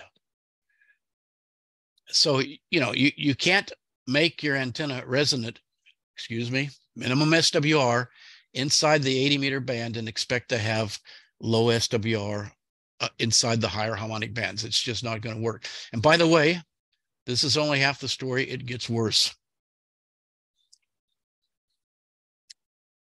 Now this is this is the fun part. So let's say if you look at my picture on your screen, and me, not the, you'll see I'm out here I'm outer space, and I've flown out here, so I could I could examine this antenna. This is an 80 meter dipole in outer space in free space. It's exactly half wavelength long, two quarter wavelength. So we have one half wavelength end to end. And uh, knowing how that worked really doesn't help us much because I don't know anybody that builds antennas in outer space. I know a couple of guys that want to try it. They're they're looking to uh, to move to outer space. So one of them is Elon Musk, the other is Richard Branson. But until they get out there, there's no sense in looking at that. So I'd, I'd like to have uh, Scotty beam me back down down here on Earth where you guys are at, and let's take a look now let me clear this out. At how our antennas work here on Earth. Here on Earth, we find we have two things that affect the length that we need to cut our dipole to. The first one, velocity factor, is pretty clear. Wire has typically a velocity factor about 0.98. So we shorten the wire by 2% so that, uh, you know, because of the velocity factor. So it only needs to be 98% as long as a, as a physical wavelength obviously uh, these are blown these are exaggerated so you can see the difference it's absolutely not to scale but the second thing is end effect when we have a wire on an antenna unterminated over ground we have something called end effect now this will generally cause us to have to shorten the antenna by four or five percent. Okay so we end up with having the antenna really the wire really only being 93 percent of a quarter wavelength in HF. That's on 80 meters, but we want to work 40, 20, 15, and 10. Let's see what happens on 40. On 40 meters, we'll find we have four quarter wavelengths. The outer quarter wavelengths, they're shortened by uh, end effect and by velocity factor, but the inner quarter wavelengths, they have no end effect. They only have the velocity factor, so they need to be eight, 98%. You know, so we're, we're too short. The antenna is too short. The antenna needs to be lengthened longer than it is. Here's what how long it is. It needs to be this long if we want it to work on it on 40 meters. But if we cut it this long, then it's resonant. Excuse me, minimum SWR on 80 meters is going to be below the band. The next thing I'd like to do is look at all of the bands. Well, not all of them. I left out the WARC bands, but let's look at these harmonic bands it's a little bit complicated. We'll go through it step by step. Red is what we have if we just built an 80 meter resonant dipole. If we look at it at 40 meters, this is the same thing we looked at on the previous page. We've got the two inner quarter wavelengths too short. On 20 meters, we've got eight quarter wavelengths and six of them are too short. Down here in blue, this is what we need you know, and we looked at this. This is the same as on the previous page. It needs to be a little bit longer. But on 20 meters with, with six of them too short, it has to be even longer. And on 15 meters, we've got, I don't know how many of them, eight of them probably, or whatever. anyway, the, the higher we go, the farther apart these go. Now I'm going to show you real live antennas and measurements I've done that will, you know, show you that this is actually what's happening. But this is why it's happening. So we've not only got the fact that that you know if we tune somewhere down in the low end or but inside the band on 80 we're outside the band. We also have got this end effect problem that makes us even worse outside the band which tells me we have to make the antenna on 80 meters even longer. As you see it's not a harmonic band. Now this is real life. This is no longer just theory. The first thing i've done is i just put in straight factors for harmonics 3.5 7 14, 21, 28. So, you know, it's 200%, 400%, 600%, 800%. Now let's look at real live antennas. I've got two, it's actually the same antenna. All I did was move the feed, the, uh, you know, the, the balun, same balun, same antenna, I moved the feed point. 33.3% is the classical or classic uh, OCFD antenna. 29.7 is my favorite for some reason, I had a shift of 10 kilohertz for the frequency of minimum SWR. Not going to worry about that. If I measure the same antenna on two different days, there can be five kilohertz anyway. So that really isn't a problem. Here's what I saw. When I go to the second harmonic, this one was 202% of that number. This was 204. This is 410, 407, 612, 615. 824, 827. So this percentage continues to get larger and larger. So the the the minimum SWR keeps wandering higher and higher in the band. That's why we really have to cut the 80 meters pretty far below the band in order uh, for it to work on the higher bands. you wonder this is like a never-ending story, huh? but it gets even worse. There's one more, but one last thing that we have to be aware, be aware of and beware of. And we've already looked at this earlier, but I'm going to show you how much difference it can really make. Common mode current causes SWR to skew higher up the band. And the question might be how much? First thing I did was build an 80 meter dipole.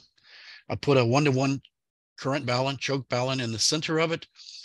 I calculated with the dipole formula to be 3480, measured it, came out to be 3450.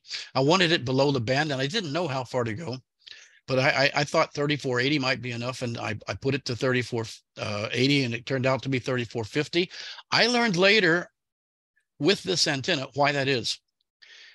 When I built this antenna, it was the first time I used the really thin wire. It was uh, AWG, American Wire Gauge 26 very thin wire, about a half millimeter diameter. I'd always built with number 18 in the past, which is what Spiderbeam uses in their Yagis. Guess why I built with that wire? Got it for free.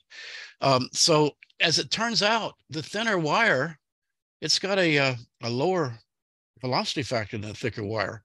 So much so that if I cut the antennas to be minimum SWR in the same frequency, the thick wire was 40 centimeters longer what's that in inches? Uh, two, 2.5, uh, 20 inches or something. No, not that, whatever it is in inches. But anyway, it's quite long, 40 centimeters longer for thick wire than for thin wire. And that, that's why I came out so low here. I just left it because I really wasn't interested in building a dipole to use. I was interested in finding out how the baluns compared to each other. So keep this figure in mind. This is the target we're going to be looking for. We need to be near that at least.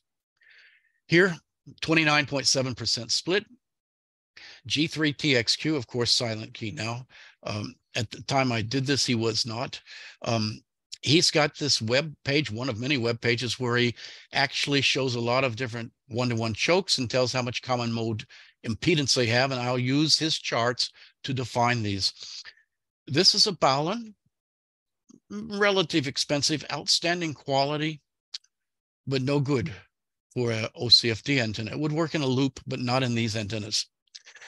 It's because he used number 52 toroid, low, relative low, 250 permeability, and he only used 11 turns. And it's a four to one guanella. So you have paralleled coils. So you end up with only 500 ohms, and 500 ohms is nothing. And look where minimum SWR landed, over 400 kilohertz, higher than it should be. I said, okay, not to worry, we'll build our own. So I made one myself, and I used number 43. It has 800 permeability, and I managed to get 17 turns onto the cores, to the two cores, which gives me 4,000 ohms. 3515. Well, I'm not where I need to be, but it's certainly a lot closer. I want to come back to this in a second, show you what happened when I added a choke. So then I had discussed this with, with Steve, uh, G3TXQ, and learned that I just couldn't get enough common mode impedance with a dual core four to one. Had to go to a one to one. One of the things I had done, I tried using a one to one. This is the FT24043, a one to one choke balun. I first put in a dual core here, worked, but I thought, heck, I don't need the dual core. I don't need any common mode impedance. So I switched to a one to one Ruthroff, a voltage balun, excuse me, not one to one, four to one Ruthroff balun. So it's it's a combination of two baluns. I call it a hybrid balun. It's called that in ham circles, but the the uh, commercial engineers they like to call it a compound balun. It's not a new idea, but it wasn't very well known in the ham circles. So I built this. It has about 8,000 ohms. The first one, which was using the two of these FT240 cores. I came out to 3440. There's even 10 kilohertz below here. Of course, part of the difference might have been the weather of the day I measured or something, but basically that's ballpark. Okay. I repeated the same thing with smaller cores with the FT140s and with the FT114s, keeping the same number of turns count. This isn't really eight kilo ohms. It reduces a little bit, and Steve didn't measure these, so I, I have no idea, and I didn't bother to measure them. I was interested in the results because the results kept coming in at 3450. So, you know, my tiny little baluns were blowing the socks off of this expensive thing up here. You know, this probably, these probably cost me 20 pounds to build or something like that, as opposed to about 100 pounds to buy the one up there. And the difference is mine work and that one does not. Okay, so this is what is confusing about all of this. And especially in the States, there's a lot of balun vendors, excuse me, OCFD antenna vendors, and they're building their OCFDs and using this balun on the top or one like it. Their 80 meters SWR is resonant inside the band and it looks great, you know. But if you're resonant inside the band and you're also resonant on your, you know, 40, 20, 15, 10 meters inside the bands, you've got an awful lot of common mode current on your coax and you don't want that you know so you must put not resonance minimum swr below the band i went back up to each of these antennas and i took let me get it again and i'm going to switch to the uh, if i do this you'll see it a lot better there's somewhere around here none here you can see it a lot better. This is a, basically a Maxwell choke balun. So I just added this Maxwell choke. And while I'm here, I can show you some of these others. This is the FT240 core. That's a one-to-one Guanella. It's actually the same one, identical one that I used in the, in the big balun of my hybrid. This is my little one, my tiny little one. Let me put it up and compare them this this is what we use in the 807 and like i say i've got a lot of customers that run a kilowatt ssb through this thing never had anybody burn one up i did have twice complaints in ft8 the balun will get warm and you start to get swr creep already at 200 watts so i worked with one of my customers in the states and a good friend of mine over there and i had him rebuild the top one i had him take this apart and stack two of these cores together and rewind it. And when he did that, he was able to get 600 watts through it before he got S- SWR creep. So as you can see, it really doesn't have anything to do with the size of the balun. Has a little bit to do with the size of the balun, but it has a lot more to do with the design of the balun, what material you use, basically know-how.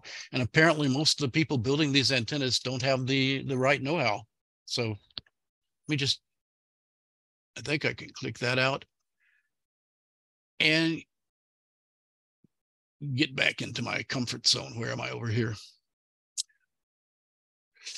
Okay, so as I say, I, I put this one Maxwell choke on the my dual core four to one. This dropped to 3480. It's about 30 kilohertz above where it should actually be, should be at 3450. So I said, hey, you know, that's close enough for government work. There's a little bit residual common mode current on it, not enough to worry about. I'm sure it would be good to go with that. But on the other hand, I see no reason to use the dual core. I, I can tell you, I will tell you more about this in the next presentation because it's shorter than this presentation. So I then went up and I put the choke on this one, on the, this poor balun. And it dropped from 3890 down to around you know 3700 or something like that.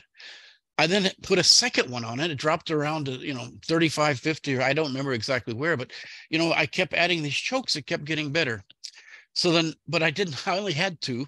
So then i i took this choke. I hope you can see it but you, you saw this earlier. You know? It always goes backwards doesn't it? That was the little one the one to one and I put that onto it, and then it dropped to 35, uh, excuse me, 3450. So it's very obvious. The cause here is insufficient common mode impedance, and that's what's wrong with about 90% of the OCFDs that were ever built in the history of the antenna. And I don't know why it took so long for people to discover that. Uh, you know, maybe because I put five years into finding out. Okay, so let's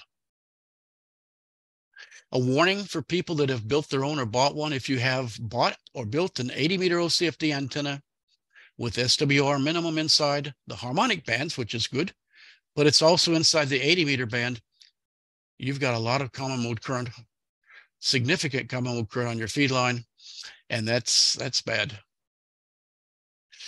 So, and if you do have uh, your resonance or your SWR minimum too low, very simple very simple solution. How to fix it, I'm going to show you in the next slide. We're going to build one in the, the next presentation. It's through a capacitor.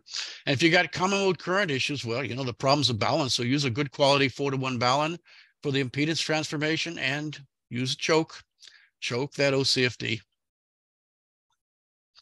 Okay, so this is how we fix it. Here's our OCFD, not to scale, just any OCFD. We're going to cut it the overall length right in half, put an insulator in it. We're going to insert a capacitor across the insulator to connect the two wires back. We have to put a bleeder resistor across it. Otherwise, static electricity in a, in a decent thunderstorm will kill the capacitor. The first ones I built look like this. I just took a, a tiny little piece that was about, I don't know, half an inch by two inches, drilled three holes, weaved the wires in and out, and then soldered resistors and capacitors. I say uh, capacitors and a resistor. I had one single three watt resistor, but I had you know several capacitors. Show you why you need several capacitors and not just one. I mean, you could use a big doorknob, but you know how do you know what value you need? And the advantage of combining lots of little capacitors is you can kind of prune the frequency where you want it. So the capacitor raises the resonant frequency as well as SWR minimum on the 80 meter band with no significant change to the higher bands. The value of the capacitor determines the desired resonant frequency. So by varying the capacitance, you can change where resonant frequency again, huh? It does change resonant frequency, but we're more interested in SWR minimum. And Spiderbeam, like I said, they sell these with uh, four different versions. All they're doing is putting this piece, they're changing it in and out. They're actually swappable in the antenna.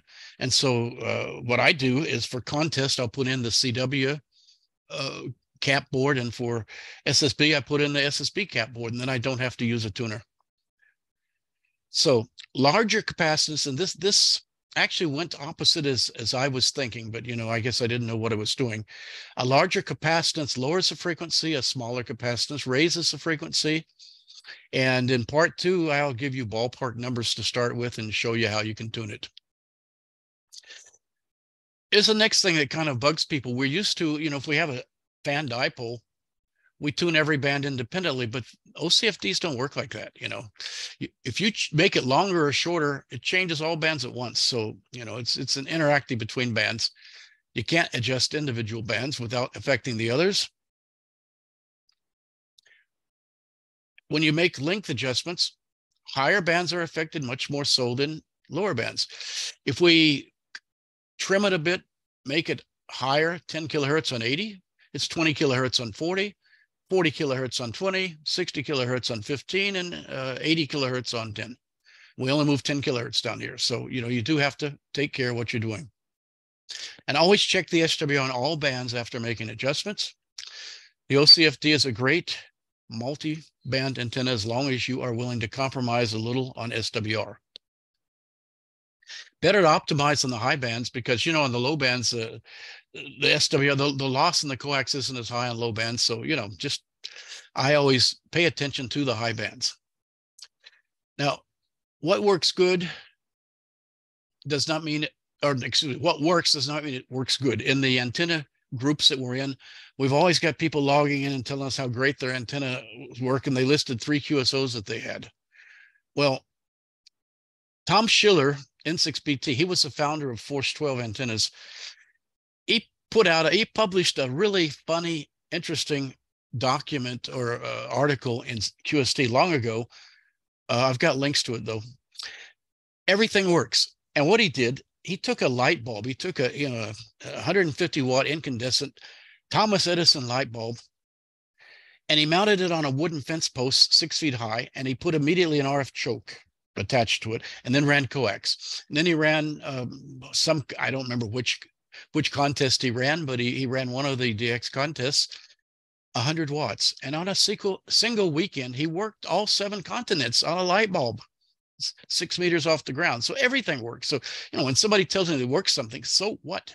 I mean, if I win a contest, and that's meaningful. Now, this is my favorite slide. That was my favorite car because that was my first car. Not, got it in 1964 when I got my driver's license. If you notice from the picture, I was a bit thicker back then. I've lost weight. The interesting thing, why I'm showing this, one year before that, I built my first Windom.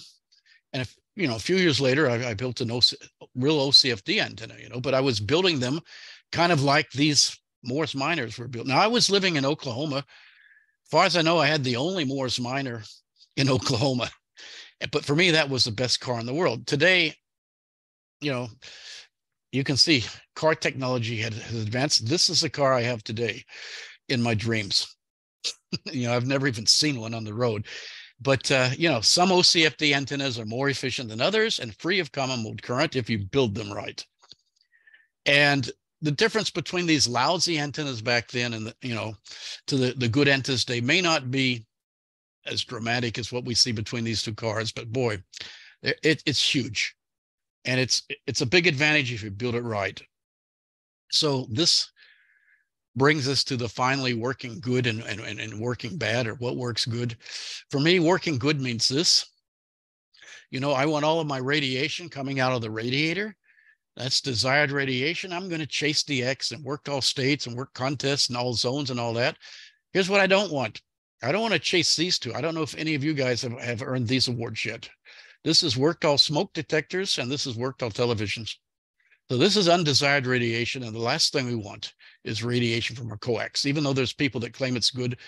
Uh, that might have been good 60 years ago, but with wall-to-wall consumer devices in our houses, we do not want this. Summary, probably the last slide. The OCFD antenna can be a wonderful, efficient multiband antenna if you build it right. There's no such thing as a best feed point. You're always hearing people claiming they've got the best. There's no such thing. It's horses for courses. The balun is the key to success. If you get your balun right, you're halfway home. A single core four to one balun just simply does not work and do not use it. And a dual core four to one balun is probably not the best idea. There's another reason. I'll explain that next time. There's another reason it's not a good idea to use these hybrid baluns or compound baluns. That's the way to go, but you have to build it yourself because there are a couple being sold uh, on the commercial market. I know of two companies selling them Uh, they both will work sometimes and one of them will fail quite a lot and the other one fails under certain circumstances. The second one's pretty good all the time except in digi modes so the i went through two. The ocfd must have swr well below the fundamental band. Tune trim the length to optimize swr across 15 and 20 meters. Raise SWR minimum in the fundamental bandwidth capacitor. Beware of vendors selling snake oils because there are plenty of them out there, especially on eBay. To be sure, I recommend you do it yourself, and we're going to learn how to do that in part two of my presentation. So this basically concludes it. I'd like to just point out down here, once again, here's the link in your PDF. This should take you straight to the page.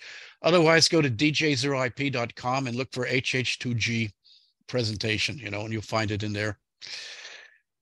I've got several email addresses, and the one some of you may know me under Rick at DJ0IP. Do not use it because I get 50 to 100 emails there every day. Sometimes emails get lost or they stay in there for a week. Please send questions to this. Yeah, Hitchhiker's Guide to OCFD, so dash OCFD at aerial51.com. And I that they'll be only questions about this antenna. And the three websites I have, I didn't want three, I wanted two. I wanted this one and this one. Ran out of space on this one, so I had to buy another one. Uh, so I've ended up having three. So my information can't be found on a single web page. It's spread across three. So I'd like to open it up for questions.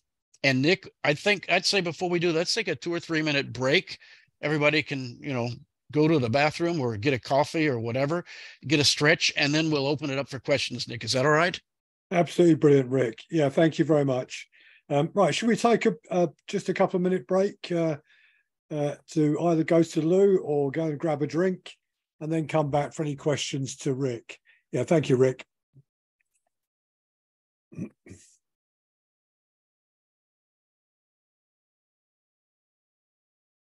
Well, uh, just a, a, couple of points. Uh, if people haven't spotted, I put into the chat uh, the two documents that um, uh, Rick was talking about. One was the handout with all the links on all the web pages. That's the first one. And the second document I put in uh, was the article that appeared in RADCOM in December uh, 2017 by M0RZF Rob, who I've been in contact with. And incidentally, um, for those people up here in Yorkshire, um, that uh, that antenna in Radcom was used by G3UNA at the Knaresborough Amateur Radio Club uh, as a club project to, to build a version of it. And G3UNA is also written on that uh, subject as well. But they're, they're the two bits that I've copied into the uh, into the chat, and you can download the documents directly from the chat and have a look at them in your own time.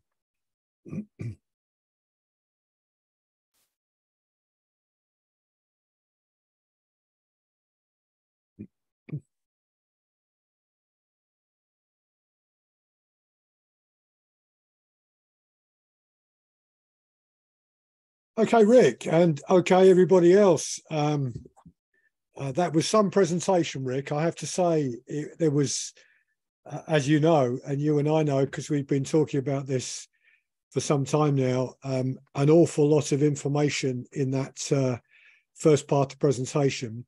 Uh, and this is really the taster to the second part of the presentation, which is coming up next month, which is more going to be about putting this into practice. So the practical side of building the antenna and building the balun. And they're the two things that Rick's going to uh, talk about in a lot more information and detail in part two. So has anyone got any questions to Rick um, from tonight's presentation? or has this just been too much for everybody? Anyone got anyone got any questions?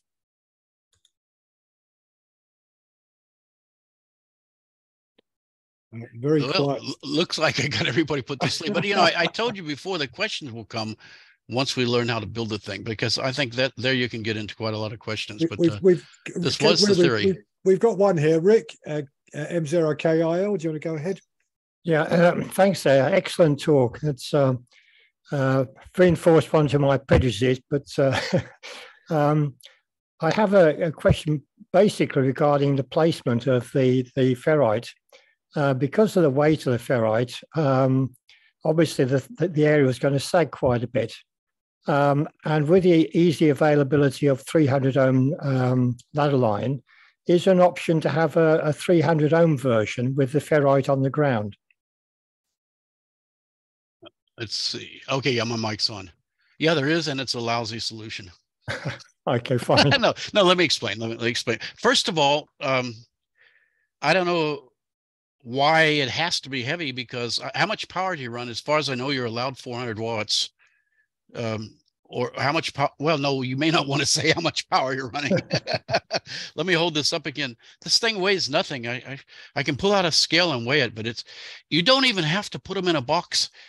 Quite a lot of the antennas I build, including some of them I I, I built for uh, for Emil for the for the Rockwell expedition. I didn't put an enclosure in them. I just built them like this. Uh, what I sometimes do once they're all soldered and all that, I coat it with the uh, liquid electrical tape you know, just painted a few thick coats and that's it. It's just fine.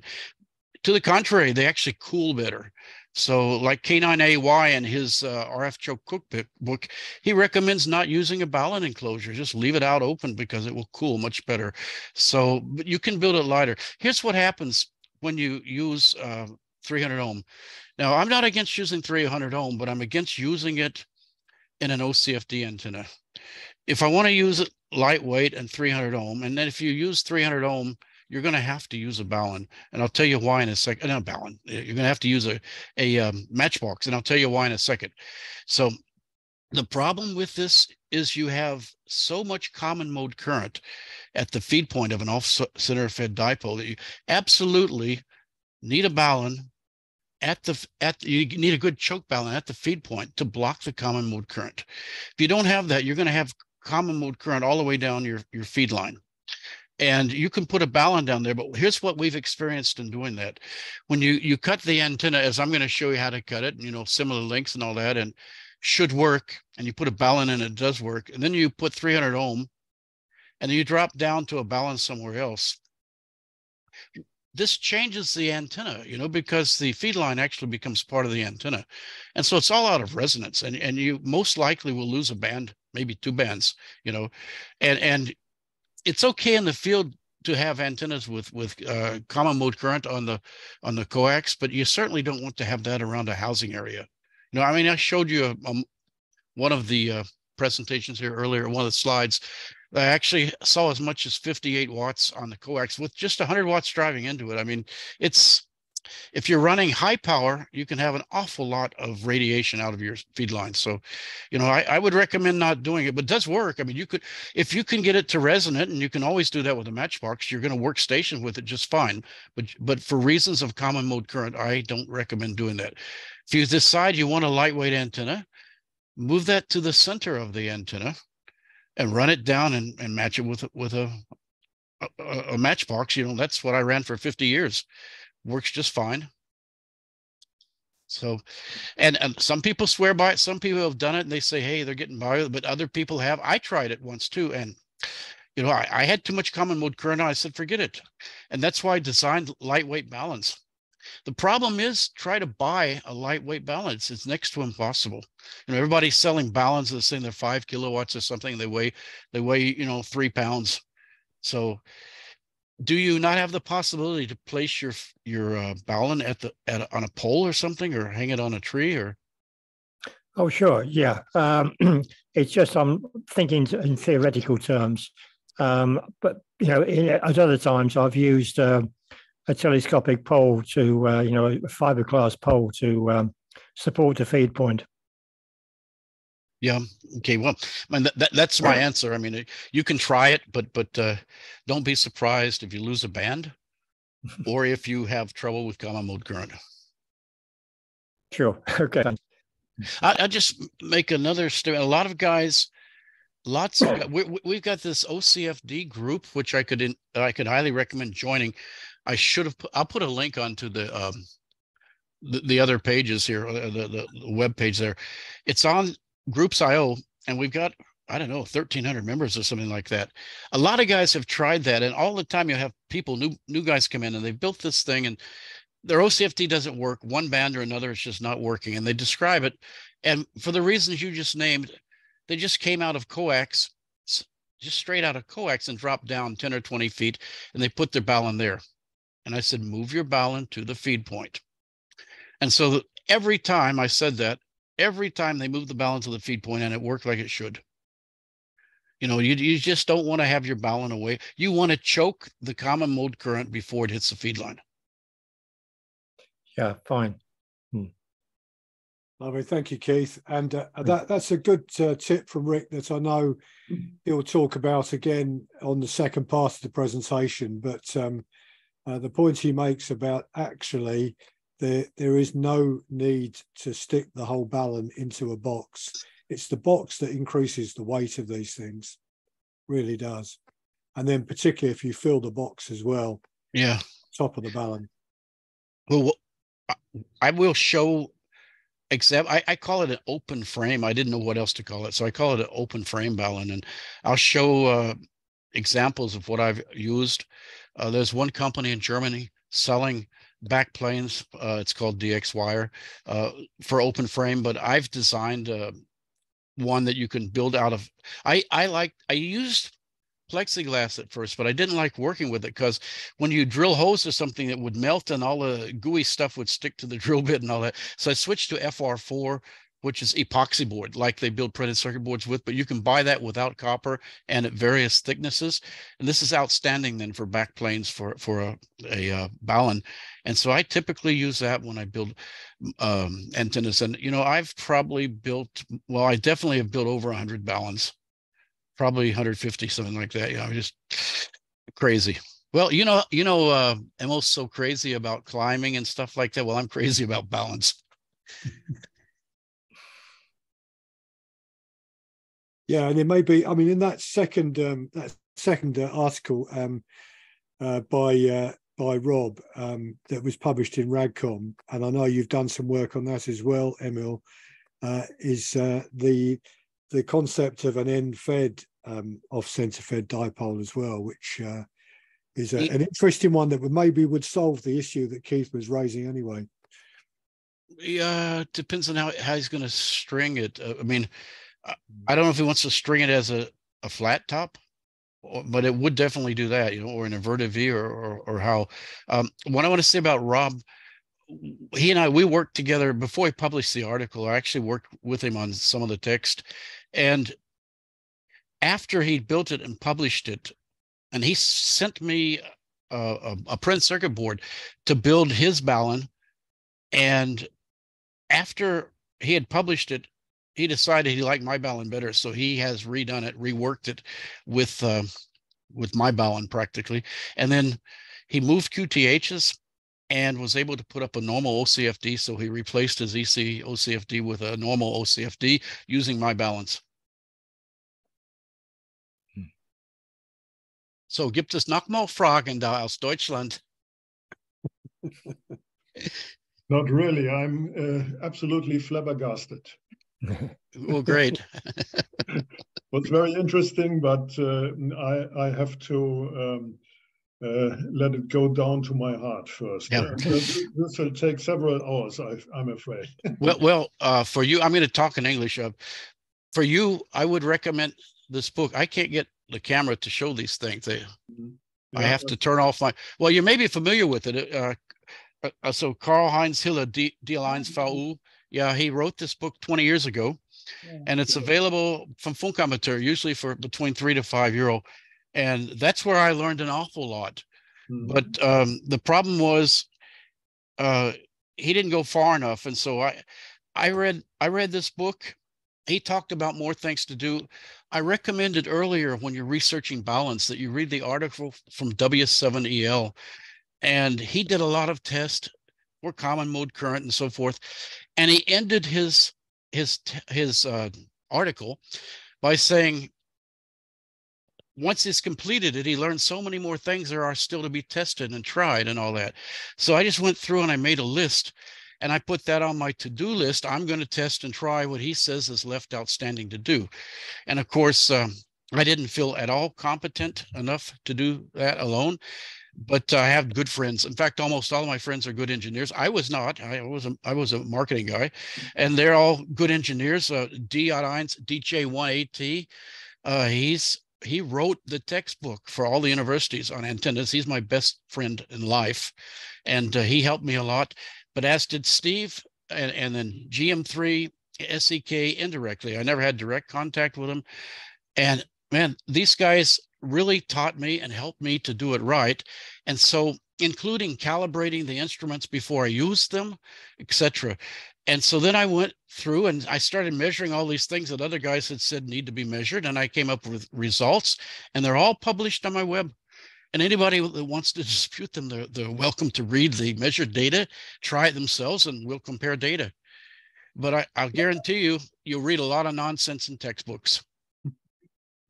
I'm sure about that. yeah, but um, uh, Karl Heinz Hille is uh, he's quite famous. Uh, we've yeah. known a lot of articles of uh, this in uh, CQ DL, I think, for example, and other publications as well. He um, was quite famous for his travels, uh, always yeah. taking an arrow uh, and a bow with him to shoot out his uh, antennas from uh, hotel rooms into palms nearby. I know.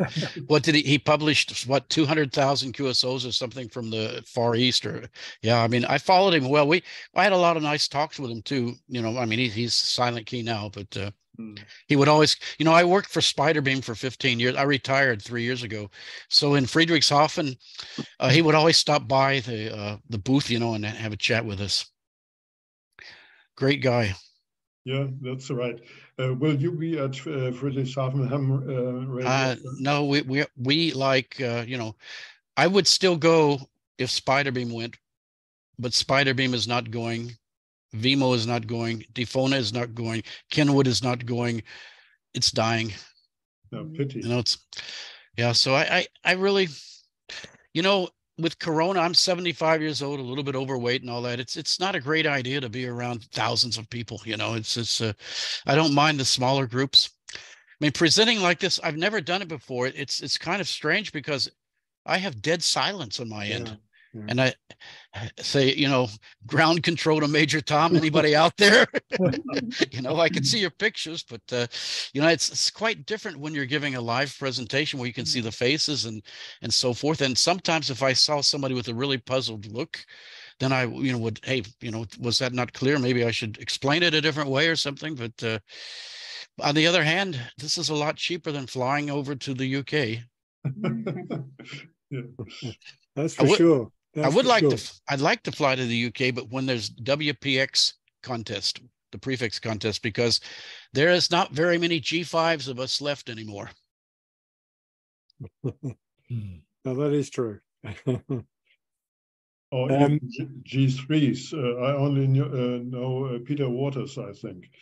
Yeah, yeah, and he's getting up there in age too. Yeah. Yeah. We've got our we've got a, a, a, Mike. We've got our own G3 SDY in the club, of course. So uh... yeah, that's correct. That's right. That's right. yeah, but Roger, uh, Roger, you had your hand up. Where's Roger? Oh, hi, yeah. Roger. Uh, hi, Rick. Thanks for that. They're really interesting. Um, yeah, like uh, others have said, there's a lot to digest there. I wonder if you could expand a little on how you measure the common mode current. I think you said a clamp meter, but my clamp meter will measure hertz, kilohertz, maybe, but not into the megahertz. I just wonder how you how yeah. we get that accuracy. You know, the best way to to do that is to show you, but I'm just if I if Nick can help me to turn off my presentation and if I can hit my website, you can see it. And there, the, uh, okay, right, now the presentation's off. You'll need to go back can, into can I share your website? Yeah. Let's see if I hit this. I can't. Now, if I disappear, I'll log back in again. I'll dump that. No leave meeting. No, I don't want to do that. Okay, yeah, here, down here, I can see it. Let me move this up here and go to yeah, screen.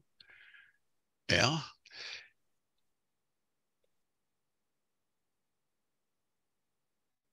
Bear with me a second. It's coming up. So CMC. Okay, so I've got that now I just have to, you know. Well, I've found it on my screen. I've got to get it back up so you guys can see it. You've got so. to hit share screen and then select the one you're looking at, Rick. Yeah, but, but I've lost it again. I've oh boy. Sorry guys. Okay, it's this one. And now, see, I've lost the menu for share screen. So maybe this wasn't such a good idea. For. Okay, here we go. I hit share screen. There it is. Share. I still see the same old one. Oh no, this one is there. Can you see it? Yes. Yeah, we can. Okay. Yeah. So now there's about half a dozen circuits flo- floating around where you can build your own real cheap. But you know, I was in a hurry and I, I wanted to be sure I had good instruments, so uh, I I bought this. Actually, kind of a half truth because I convinced Spiderbeam that they needed to buy that for me because I was developing antennas that they might want to sell, and so they bought it for me. And uh, it looks a bit funny here. I've got this little one piece of coax on here. It's about 10 inches long, something like that. The problem with these clamp-on meters is the, the diameter is big enough for RG2, um, what was it, RG11, I think was even, even thicker than RG213. And then when you're measuring thinner coax, what I noticed was the reading on the scale would vary because you could push the uh, the clamp around closer or farther away from the coax. So I was getting different readings. And you know, you can't use that when you're going to be comparing baluns. So I said, okay, I'll take RG213. I wrapped a couple of layers of tape around it so that I had a tight fit of the, the clamp. So then it can't move. And then what I did was I just inserted this every time I wanted to measure somewhere. So I always had the meter clamped exactly with the same uh, um, tight fit, regardless of what balun I was measuring or what length of coax I was measuring, etc. Because otherwise, that would uh, it'd be one more variable that, that comes into it. You know, you wouldn't know for sure. And I, the whole idea was not to come up with the best antenna. I, I was trying to understand how common mode current affects OCFD antennas, but I began with the 40 meter dipole, and I, am all the tests I ran on all of the antennas. I also ran on a 40 meter uh, dipole, and that was my stake in the ground. And once I had that, I could see just how good or how bad of a job the baluns were doing. And then I would take sometimes another choke and add it to the baluns and see what happened and so forth. And uh, I, I made altogether 1000 measurements and it's actually 500 pairs of measurements because i would measure with an analyzer and with the uh, RFM meter, and then I recorded them in pairs. So you could you could see the amount of current or you know common mode current, but you could also see what it was doing to your antenna. Right. I so that's um that's a that's a a, a, a, a multi-turn whatever uh, clamp yeah. meter. Yeah, inside there, I, I just around the, just around the outside of the coax. Excuse me. Yeah, it clamps just, over the coax, yeah. but yeah, yeah. In, inside this it's basically it's just like a big toroid that's cut in half. There's a number of wires in there, but I, I you know, I haven't looked inside there for, for six years or, or five years, something. So uh, no, wait, that's been, you know, that's been 10 years. I haven't opened it for 10 years. It's just always clamped onto that thing, but there's a number of turns going around there. There are plenty of, um, you know, G3, um, you, what was it called? TXQ. He has somewhere on his website uh, instructions for building one. GM3 SEK has it, VK1OD has it, um, W8JI has it on his website, you know, and they're all similar. So there's lots of them floating around, you know. They're cheap to build. I think I paid about a hundred dollars for this. Um, last time I checked, they weren't, you know, due to Corona, a lot of stuff wasn't uh, available, but uh, they might be available again. But you know, they had a cheaper one. I had, if I had to do it all over, I would have bought the cheaper one. The advantage of this one is it has two very low scales that are amplified. So it can measure very low uh, current, RF current. It's useless. And the reason it's useless is when you clamp it onto an antenna and you have it on those low scales and you're not applying any power to your to your antenna, the meter is wiggling all over the place between half scale and full scale and back and forth. There's so much RF floating in the air from who knows what You know, I mean, I don't even live in a city. I live out in the country, but there's there's just so much RF in the air, and then I have to go to the lowest scale that's not amplified. Well, the cheaper meter can measure down to that level as well. So I may have well have just bought the cheaper meter. They have two of them. Um, WiMo sells them here. I probably others do too, but I think I got mine from WiMo. So you know, it's like 10 years ago. So I don't remember yeah, exactly. Uh, yeah, Roger Waters and Stanton sell that um, MFJ RF current meter about okay, 200, yeah. about 200 pounds they are. Mm. No, no, I, I, well, I, I wasn't interested in buying one. I was just wondering how you do it because. Oh yeah, yeah. Oh yeah. yeah, yeah. Yeah, yeah, you're ordering well, a multimeter or your or whatever will work. I, it, gosh, ordinary transformers will be saturated at megahertz you know, rate. I, I, could show you quite easily if I were better at using this Zoom, because uh, one of my friends in Italia in, in Italy sent me a diagram today and he'd come across it. He wasn't aware that something like that existed. He thought he was showing me something great, new and great. And there's a schematic of it and a picture of it. It's in one of my emails, but I'm afraid if I try to get it, I won't be back for five minutes. You know, it takes me so long to navigate this stuff. No, no, it's just I, have not come across that before as a specific instrument, but no, that's interesting. Thank you. Well, okay, then you mean my specific one? It's just called an RF meter, and there are other companies building them too. Um, let me just make a note because I'll look up, I look up some of these. Uh, yeah, Rick, I've just put I've just put in the chat a link to um, G3TXQ Steve's article in Radcom in 2015 on. Uh, oh, that's good. And then everybody mode, can access that. Common yeah. mode current and chokes and uh, measurements as well. Okay. Yeah. Well, because like I said, there's an appendix in his article there on how to measure common mode choke impedance.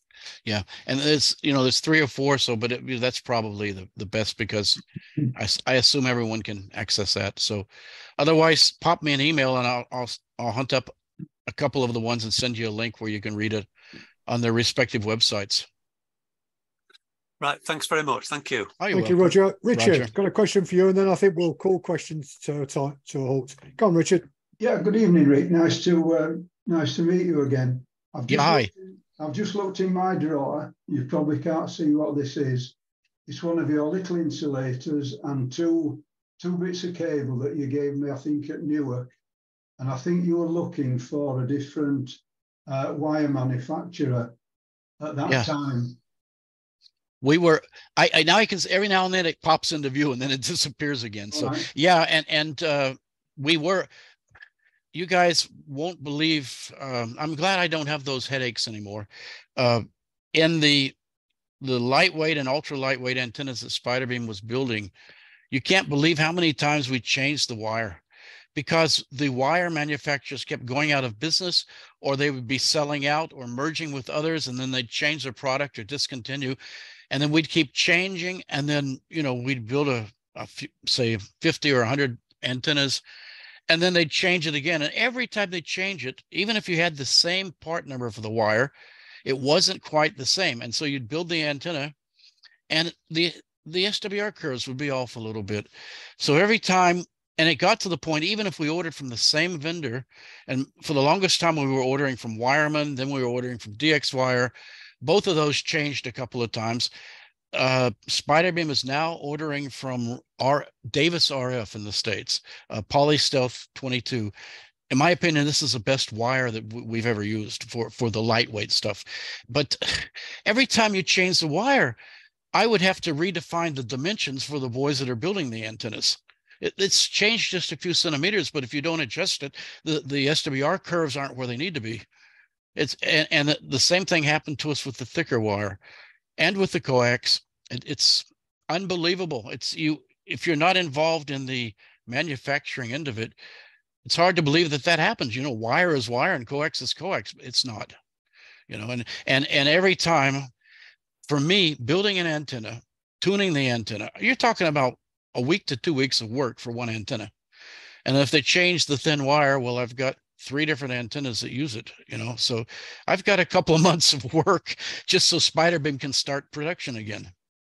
And and by the way, they don't have anybody else that does that. They they they still uh, I still have to help them on a few things. I don't work daily for them, but for stuff like that, and it doesn't happen often, but you know, every year, every second year, I've got to do that.